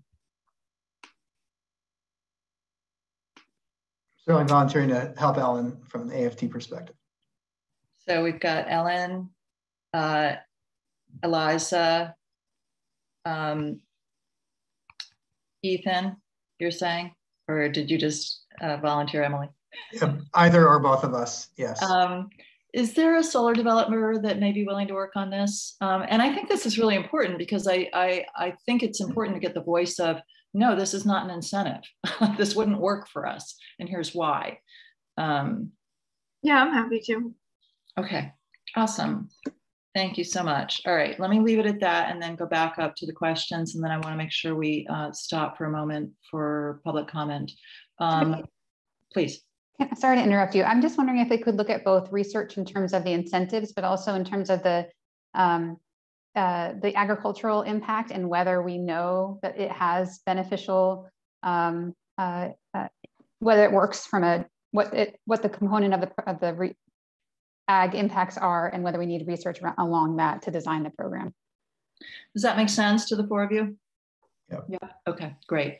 All right. So I see three hands up, but I'm sorry, I don't know what order they were in. I see uh, Nick and Palmer, and uh, maybe that's all I see right now. So let me take them in that order. Okay, I think that was me. Thanks. I I I, I think at this point I'm I'm just kind of echoing first what I heard from Ethan and now uh, as well from Selena. Um, uh, I'm I am personally not convinced that you know, raising all racking an incentive that puts racking at eight, 10 feet high is the right way to go. I think, uh, or, or, and uh, establishing incentives for certain spacing. I think that's what's being suggested that, that there's so much new development that's happening. There's so much um, research that's coming out regularly. There are benefits to a number of different designs. I've seen sites that were um, designed with hay production in mind. So the spacing has been changed, but the height is not. Of course, there's those you know images of panels that are working with the dairy where height is a big deal um, versus grazing sheep, cattle over sheep. Um, I, I, think it's being said again by a bunch of different people here, but um, uh, I, there has to be space for case by case. What types of agriculture are trying to be promoted that would inform thus the designs. Um, and, and, then, and, I think that gets very complicated very fast, but it becomes necessary um, if we're talking about incentives. And I, I don't know how it works. Got it. Um, thank you. Palmer, go ahead. Thanks. Um, a lot of great questions coming out of this. Um, I, think I have to try to do my best to stitch back to as far back as Fortunat's comment about a sort of if you build it, will they come question. Um, Selena asking about data behind this and, and Nick's concerns. Um, you know, I, I, I, guess, you know, I'm curious to know, and I apologize for not having the full backdrop here, but I'm curious to know if this is being seen as sort of a, a, a pilot sort of effort as a broader push to deploy clean energy in the state. Um, I think, as everyone knows, Massachusetts has been trying awfully hard, perhaps, perhaps too hard, um, at dual use for a few years now, with with what I would say is very little to show for it in terms of actual projects on the ground. Um, and I know there was a study. Um, I could go dig it up, but um, in Massachusetts, uh, there was a study done that showed that yield from a dual use project was I believe 60% of what that field would have produced absent the solar project being there, even as a dual use concept and constructed as such. Um, so I guess, you know, just some, some high level concerns about, uh, and this isn't just for, for agricultural dual use. I mean, when you think about incentives as a driver for the built environment, like rooftops and solar canopies and so forth, um, to provide an incentive is one thing, but um, the market will dictate whether they care anything about that incentive or not, right? Um, there's there's states that have tried to drive canopy construction. Um, Nexamp has only one developed one canopy project in their entire lives, and that's not for lack of trying. It's just very hard to do it right, and it's very expensive to do it right. And as you move further north, it just gets harder. Um, so to do a canopy type project or even a rooftop project in Maine is tough. Um, and it requires all of the stakeholders to be on board, most notably the property owners. Um, I think, you know, the uh, shadow store uh, concept was presented earlier, and we're seeing a lot of changes afoot in the built environment where, um, you know, due to COVID and due to other drivers, um, things are changing dramatically. And things that we never thought before would be a Amazon warehouse are now becoming an Amazon warehouse. Um, and they're paying through the roof for those those assets. And they're certainly not going to put a solar project on top of it because it's it's taking their significant investment that's worth multiples over time uh, what a solar project could do and limiting their ability to redevelop that project um, that that building or what have you down the road. So um, no incentive that i've found will ever overcome that. Um, and i think that that could be applicable to dual use as well if you have an incentive, but a lack of agricultural industry members clamoring for sites where they want to grow um, food product, right? And and so I, I'm just I'm looking back at Maine Audubon's siting tool, and I know you know that the hit rate for these soil classifications was very high. Um, I don't know that we even have a project that doesn't touch these soils. Um, and at the same time, we don't have any projects, as I alluded to before, that are in conflict with a farmer growing a high value food crop. Um, these are hay fields. These are fields that aren't producing anything, um, but they're farmland and they're prime soils or they're soils of statewide importance. Um, but they're sitting there and, and, the farmers are throwing their, after, you know, this past year, throwing their hands in the air and saying, I'm not doing hay again. Uh, it's just going to get soaked and go bad. So forget it you guys come do this, deal with this field. I don't want it anymore. So um, just just some sort of caution from other markets and, and how incentives work or don't work if there aren't um, needs at the property owner level to do what the incentive is trying to accomplish. Got it. New Jersey's um, going to be a ways off from from doing anything concrete on whatever they're trying to do at the pilot program level. And and as I said, Massachusetts has tried really hard um, but it's been really tough. Thank you. Um, Ellen, before I take you, I want to um, find out if there are members of the public that had hoped to speak and take a moment to um, provide that opportunity. Um, and if you could, um, Ethan, can you remind me if um, individuals can raise their hand as members of the public? Yes, they can. Okay, great. Yeah, so if any of you would like to do that, I'm seeing nine people, uh, public attendees. And hi, Sarah. We wanted to thank you so much for your service on the committee and um, glad to see you um, in this list of attendees. Um, if not, then we'll circle back to Ellen and um, but and if you have a public members have a thought um, in a little bit, feel free to raise your hand then. Go ahead, Ellen.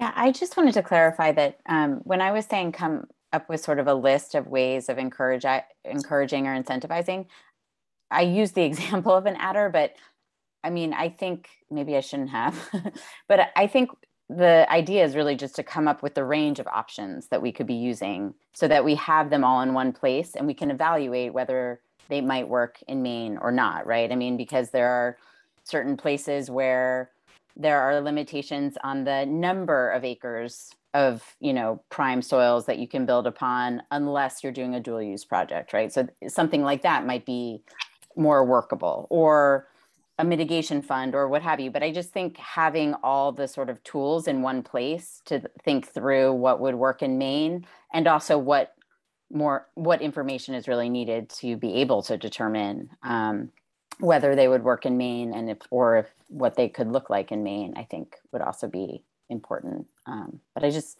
wanted to point that out that I don't think we're just coming up with a list of potential adders. Um, Great, thank you. Um, did I, uh, is Patrick still um, uh, with us? Did I um, overlook your interest in uh, participating in this subgroup? Um, and Yes, I'm still here, and I'm certainly willing. Um, if the subgroup doesn't need me, then I'm okay to sit out and wait for the next subgroup as as well.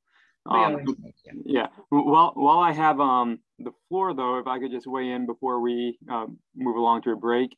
Um, that I, I like this grid. Thank you to the subcommittee for creating it. I am a little bit concerned, particularly with the inactive farmland, that we we may be a little too limiting I think that perhaps we should just encourage uh, inactive farmland to be available for solar development got it.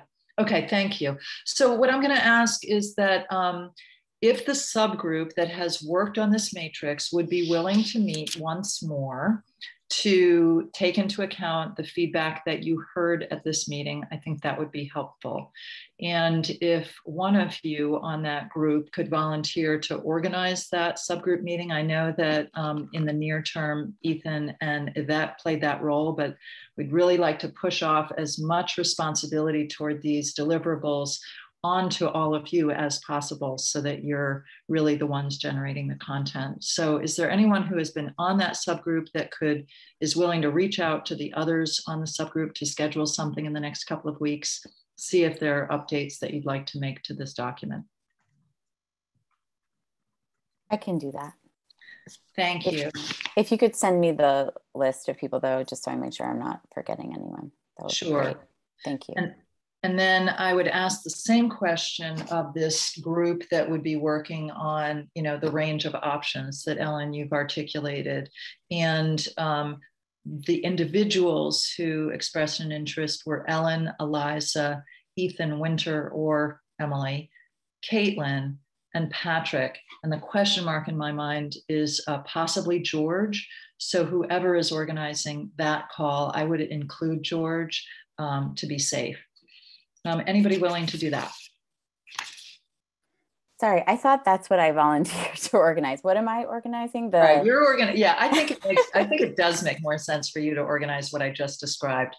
The first thing that I mentioned was re um, reconnecting as an original subgroup about this farmland matrix to um, discuss the feedback that you all got uh, today on this document those individuals who were involved in this were Eliza, Matt, Emily, Ellen, Caitlin, and Jeremy.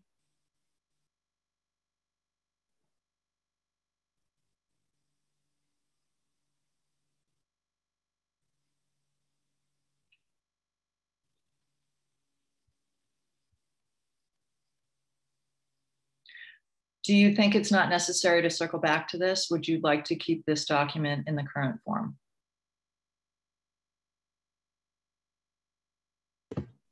I think there were a few proposed changes. Maybe it makes sense. Um, I'm happy to send an email around to that group and just kind of go through what was suggested if that's uh, better for people than having another meeting. That would be great.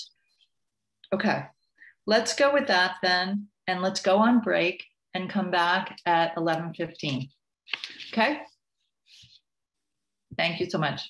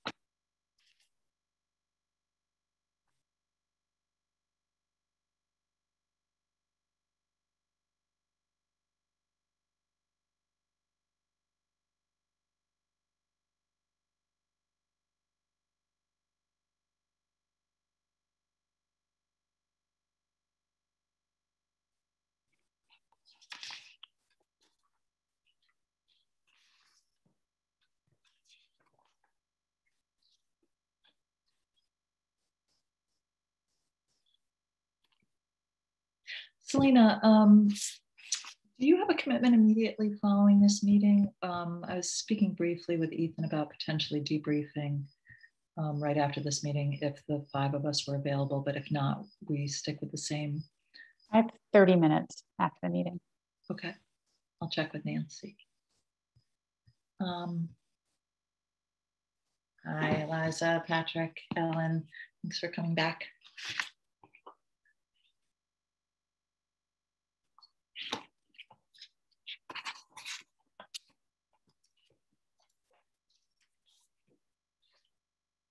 Nancy, are you available right after this meeting to debrief at 12 instead?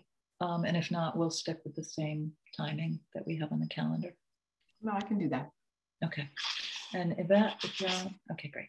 Um, saw your, I just saw your text, Yvette. So let's plan on that. Um, all right, we're gathering back. Fortunat. Looks like we didn't ever have Matt. Looks like the West prevailed. Jeremy, Caitlin. Okay. Um,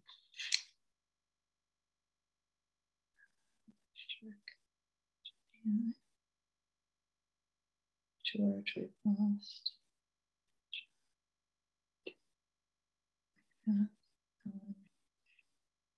Okay, so if you all could turn to page four in your meeting packet. As I mentioned at the beginning of the meeting, this is the updated draft consensus areas document that um, uh, Ethan Tremblay has been kind enough to prepare. Um, that try has is, is an attempt to capture what we've been hearing as consensus areas and what he did for um, for ease of reading is to put in bold those topics that came up at the last meeting that it appeared uh, there might be some con consensus around. So you're welcome to weigh in on anything on this page. Obviously, it, it continues to be a work in progress, but um, most specifically, uh, you might want to hone in on the um, areas in bold.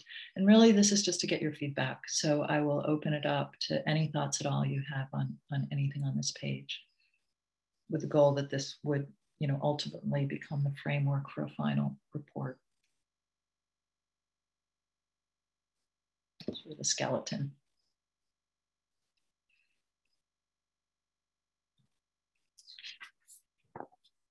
Selena, go ahead.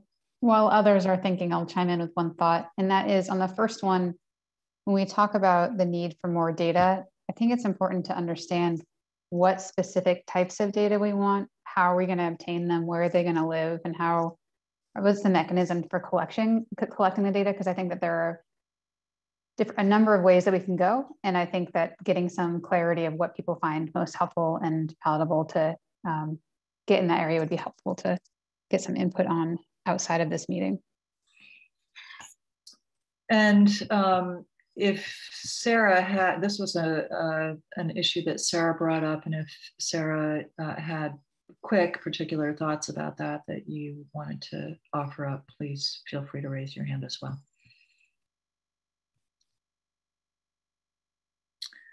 Other feedback on this?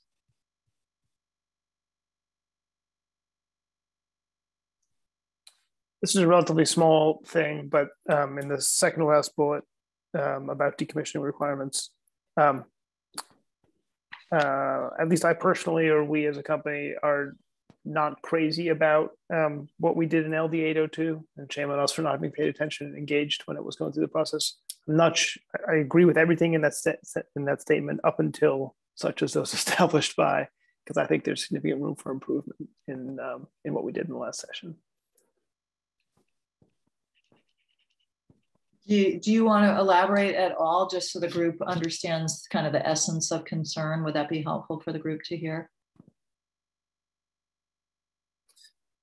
Um, I'm honestly not prepared to, to talk in great detail, but I, I think um, uh, the way in which we establish the sort of decommissioning assurances should be flexible enough um, and and doesn't necessarily need to add cost to projects and we should be careful about adding cost unnecessarily to projects if if it's not the only way to achieve the outcome we want. Mm-hmm. got it.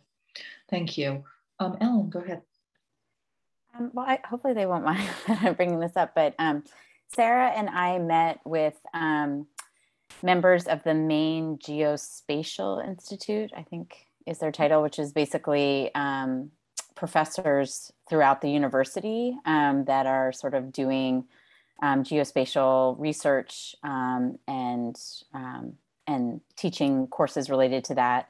And they were interested to see whether there um, were research needs that would help to inform the work of this group. I don't know if their timeline, it may would work. I'm not sure they could produce anything in time for our report. Um, but they are really interested in this topic um, and we're wondering if maybe there were sort of longer term research needs um, that they could be helping with and engaging um, PhD students and others in. So I did just want to mention that as a potential resource for this group. And perhaps that's something that would be logical to circle back to after this subgroup, this new subgroup that was just um, um, designed uh, develops that list that would include research needs. Seems like that would be the best time to, to circle back to this. Um, I am curious about the group's perspective in light of what they you all heard from Rebecca Graham this morning about this um, uh, um, the, the tax status, clarifying how dual use and or co-located solar development impacts the tax status of farmland enrolled in Maine's farmland current use taxation program. And I think um, uh, Fortunat, you raised the suggestion, and, and several others did as well at the last meeting, to potentially recommend um, that qualified land remain enroll, remain eligible uh, to enroll or remain enrolled in, in current use, um, even with installation of particular uh, types of solar generation, um, specifically dual use. Do you have different perspectives on that as a group at all based on what you heard today?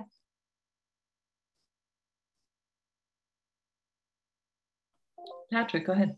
Yeah, I'll just say my opinion did not change. I think that we should keep solar eligible for uh, these tax incentive programs. And I, I am one of the municipal voices, so I realize I differ from Rebecca on that, but mm -hmm. I think the solar project should be eligible. -huh. Thank you. Um, Ellen, go ahead. I'm yeah, sorry. Were... Yeah, you're fine. Yeah, no, I was, I was mixing up your name for a moment. I don't know um, No, no worries. Um, yeah, I I mean, there was a bill in the last legislature that would have sort of um, allowed um, land enrolled in the farmland current use taxation program to continue um, that enrollment if there was a dual use project established on that land. And uh, it basically, I think it there was not a definition provided of what those requirements would be. It was sort of uh, you would have to, like the department, I think was would be charged with coming up with what those requirements were to in order to be remain enrolled in that program. But um, and I nothing I heard today. I mean, we were we testified in support of that bill, and nothing I heard today would change that. I mean, I think especially when you're talking about a dual use project where farming continues to happen on the land, I don't see any reason why it shouldn't continue um, to be able to take advantage of that. Um, okay, that's helpful. Does anybody feel differently about that? Okay, all right, that's good to know. Um, then what about um, this? There are two others that you haven't discussed yet that are in bold. Um, considering how to further advance the adoption of dual use practices, such as through a pilot program. Um, that's one example, but um, is there more that you want to talk about around that right now or to flesh that out in any more detail?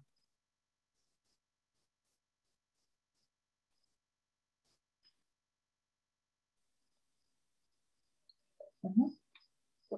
Selena. I think it'd be worth specifying that the, the pilot program should be focused on research um, rather than just in addition to any sort of incentive, but focus on research in particular, as we've seen in a number of states.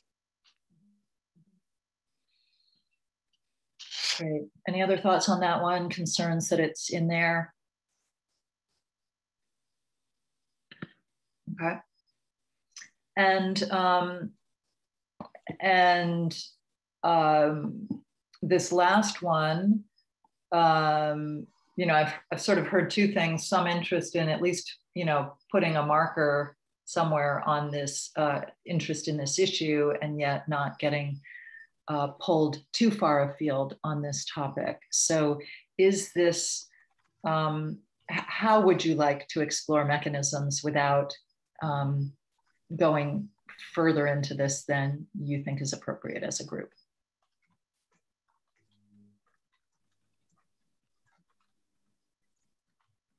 I liked, I think, Selena's suggestion that, um, you know, insofar as we think of ideas that might um, be appropriate incentives there, that we sort of formulate a list and toss it over the wall to the working group that will be formed pursuant to LD 936, because that does feel like the more appropriate place to be thinking about it. Um, and and to Jeremy's point in the chat, um, we should definitely be thinking about those things um, beyond uh, kilowatt hour compensation, which comes you know on the backs of ratepayers. But think about um, you know other ways to do that that are not a, that don't end up being a drag on solar development overall. So this can be done intentionally, deliberately, where you spend some time talking about what those uh, list of possibilities are um, that you then forward over to this other working group, or you don't have intentionality about it and you see what comes up and you make note of them where they come up. Um, and I think uh, it would be helpful to get feedback from all of you as to what tack you want to take in that regard. Um, yeah, Eliza. Yeah, um, I agree that there's a lot of value in maintaining the focus of the group. And as, as, speaking to someone who is interested in thinking about siting on ag lands, but also siting on in more natural areas, I think um, maintaining the focus on ag lands, but then recognizing that many of the tools have benefits for siting on other locations. You know, an example I would give um, that is not an adder subtractor example are, you know, simply creating more support for um, municipalities who are looking to site solar. That's something that you know we heard from MMA um, is a real need, and I think that that would serve to benefit not only ag lands but um, natural areas as well. Um, so kind of always leading with this is how you know when that subgroup means meets when we're listing out tools that could be used to encourage development or encourage dual use have um, the leading purpose be ag lands, but recognizing that there can be some ancillary benefits to um, to siting on other uh, resources as well, and just to note those that and how they could be perhaps fleshed out um, in the net energy billing um, process or in, through other mechanisms. Mm -hmm. How does that sound to the rest of the group? Does that make sense? Okay. All right, then uh, we'll leave this sort of next step, if you will, to the new subgroup um, to be identifying those tools and then where appropriate, seeing where they may be of benefit to um, non-ag applications as well. Um, anything that is not on this list that you think should be on it as a result of learnings from today's meeting?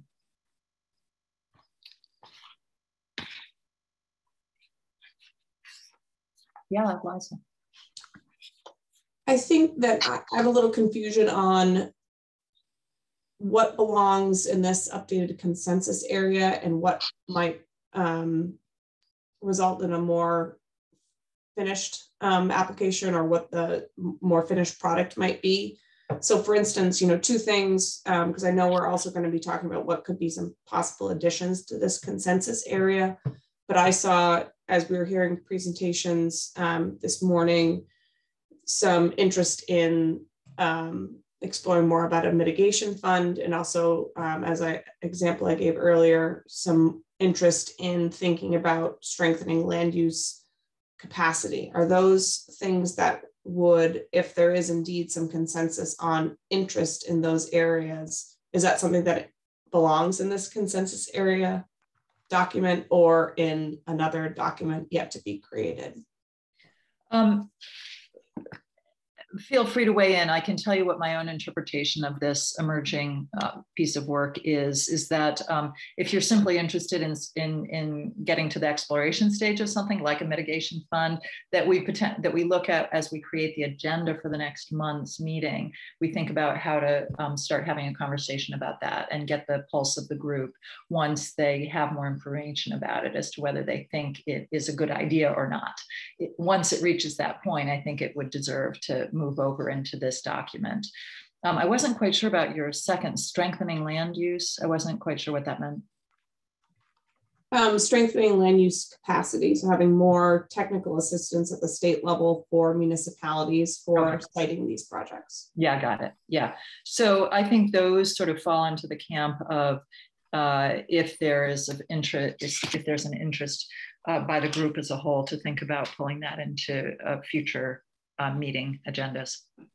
Um, and uh, just make sure I'm current on the chat.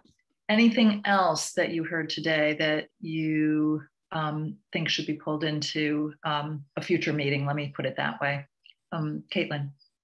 Um, this wasn't discussed today, but kind of on the topic of potential future discussions. Mm -hmm. I just wanted to make sure we're not forgetting or perhaps like make the decision to intentionally leave out um, kind of the construction conversation. I know we're talking a lot about like what siting ends up being and what the impacts end up being, but a lot of impact from solar can be mitigated during construction specifically.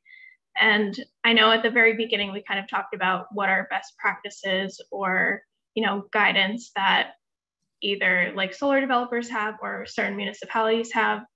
Um, but I just wanted to make sure that's either a topic that we intentionally are not interested in discussing in the scope of this group, or if we do want to discuss it, then it's for future discussion.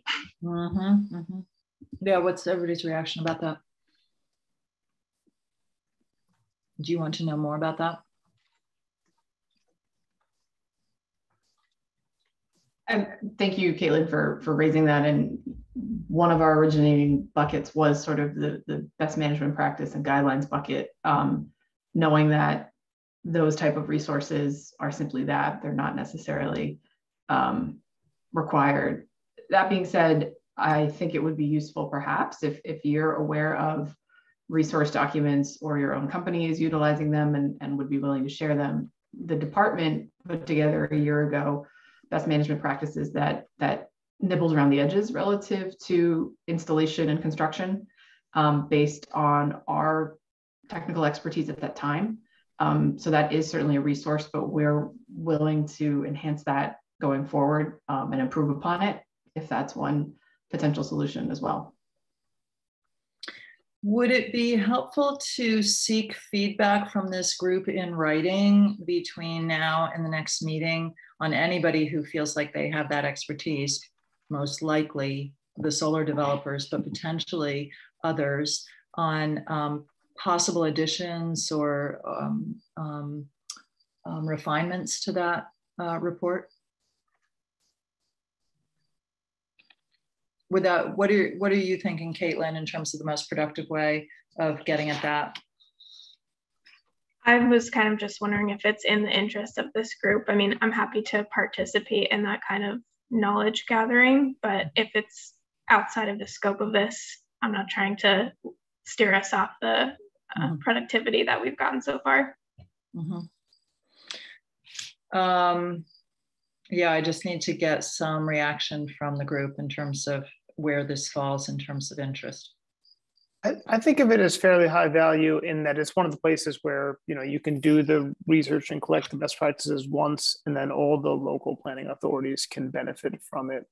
Um, and, you know, one of the challenges we have, of course, is that um, you know towns are small and planning boards are you know inexperienced or unsophisticated and so the more we can put sort of simple to use tools in their hands i think that, that everybody benefits from that mm-hmm. and uh, would the best way to get at that be um, uh, written feedback? Um, i'm just wondering if it may not be necessary to have a group conversation about this. What's your thought? Yeah, I think that's I think that's the kind of thing, especially since there is sort of an existing document from um, uh, Nancy's organization that sort of asynchronous um, feedback works just fine for them. Okay. All right, let's go with that then. Um, anything else that you know that you feel is missing uh, in where we're at so far on this uh, in this document?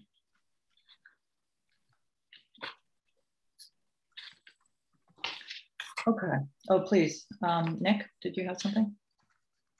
Yeah, I'm thanks. I I'm sorry I don't have a more formulated thought here, but um, a point that that has come up a number of times during a number of our previous calls is the, uh, inevitably from um, some of the developers in, in our group is is is the idea that we're going to need some large pieces of, of landscape, some large acreage um, to uh, hit the generation that the state requires. Um, that uh, that it's not going to be small uh, sites that get us there alone, or it's not going to be small sites, brownfield, industrial alone. There needs to be some large pieces of land peppered in there as well. Um, I, I, know everybody else is aware of that. It's it's it's it's on my mind. Yet we have no sense for the volume of projects in the queue, um, the what's being suggested and deliberated in some municipalities. What which what are the large projects? What are the small projects? Um, there's there's talk about um, just the highest value of our lands and our soils. I'm not disagreeing with any of that. Um, and incentivizing, directing where development goes and what that development might might look like. Um, but we're not talking about that scale. And I think that becomes a factor too in how we incentivize and um, direct.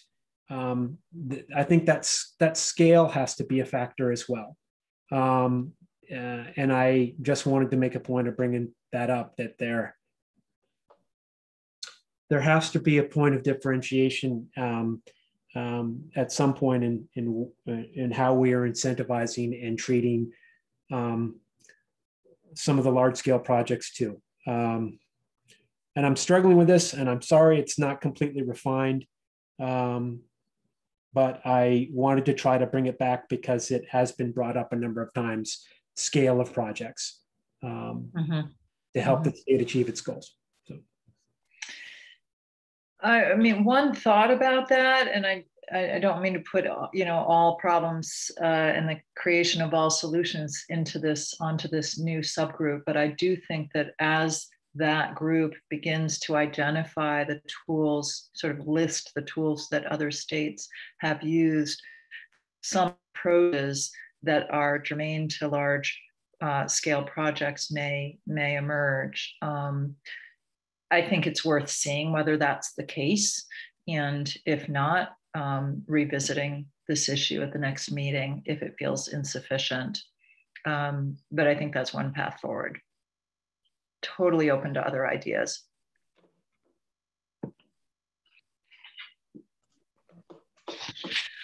Well, um, let me recap where I think we're at in terms of um, actions and possible uh, agenda items uh, that are, are emerging so far. And of course, right after this meeting, um, Nancy, Selena, Ethan Yvette, and Yvette and I will have a debrief call where we generally um, try to design the next agenda based on what we hear uh, to be your interests. Um, but we've got a couple of things going on. One is this new subgroup that's going to be um, developing a list of um, a range of of options and research uh, needs um, pulling in learnings from other states um, on, on various types of incentives.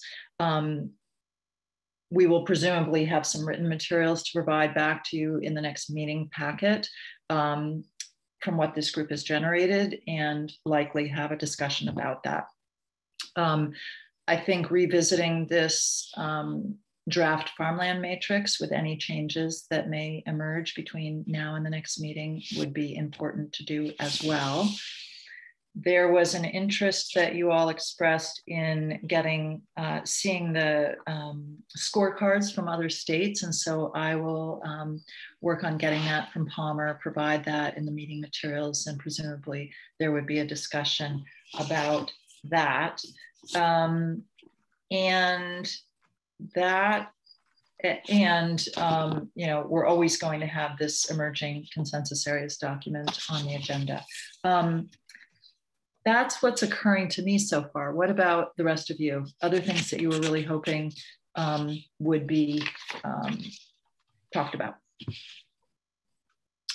Ellen. Well are we hoping then that um, i think there was just based on the questions and then eliza's comment um, there was a lot of interest in sort of understanding more how mitigation funds have operated in other states. So I don't know if we were thinking we would try and tackle that next meeting or not. Um, yeah, I'm sorry, I just forgot about that. That seems like it would be logical as well. And then the other thing I was wondering if um, I know in that July packet, and Ethan referenced that, you know, there were some statistics. Um, but I was wondering, because I think both some of our land staff is familiar with it. I know Sarah has done a lot of research around it, but just when we're talking about, I just think maybe for the group, it would be helpful to put some more specific acreage amounts or more specific percentages of when we're talking about like how because I know we have 14%, but that's prime and soils of statewide importance. Just like figuring out where we can break it down a little bit, because I think, um, I don't know, sometimes those categories can seem larger than I think they actually are um, on the ground. And so I'm just wondering if there's a way um, to get a little bit more specific data, because I think exists out there, or at least more specific estimates exist out there. Why don't I suggest that um, there be an offline conversation with you about that? Um, I know Yvette has been the primary person who's been pulling that information, trying to figure out the best way to to share it back with you that's actually useful. And so it may make sense for the two of you to have a conversation. And if you have additional information to provide to her that you think would be helpful to, to do that. Um, so I'm thinking that we have um, the, the bulk of um, the agenda for the next meeting, but obviously other issues will likely come up um, with the planning group. So I'm thinking, other than uh, checking in with the public to see if you have any um, other interests in raising issues with the group, that we may be at, uh, we may be done. Okay. Um, so our next meeting is on Thursday, September 23rd. Um, Anything I've forgotten of the chairs? Nancy, Selena? And do you have your hand up anew, Ellen, or is that an old hand up? Okay. um, just, anything? Thanks, Jody. I just note that we have four meetings left. The last couple will probably be fine tuning. So if people have topics that they want to delve into that haven't been raised, the next meeting or two as a kind of the, I think we should come up with fine tuning recommendations as we get towards the end of our um, time together. So if other people have other ideas they want to flag between now and the next meeting, feel free to email any of us. Yeah, absolutely. Thank you for that point, Selena. Um, good. Then I think we're all set. Um, thank you all so much for for um, the time and um, and Ellen's following up with the group and uh, Caitlin's following up by email with the other group and I think, I think we're good. Right. Have a good day, everybody. Yeah. And Ethan and Yvette, if you could stay on.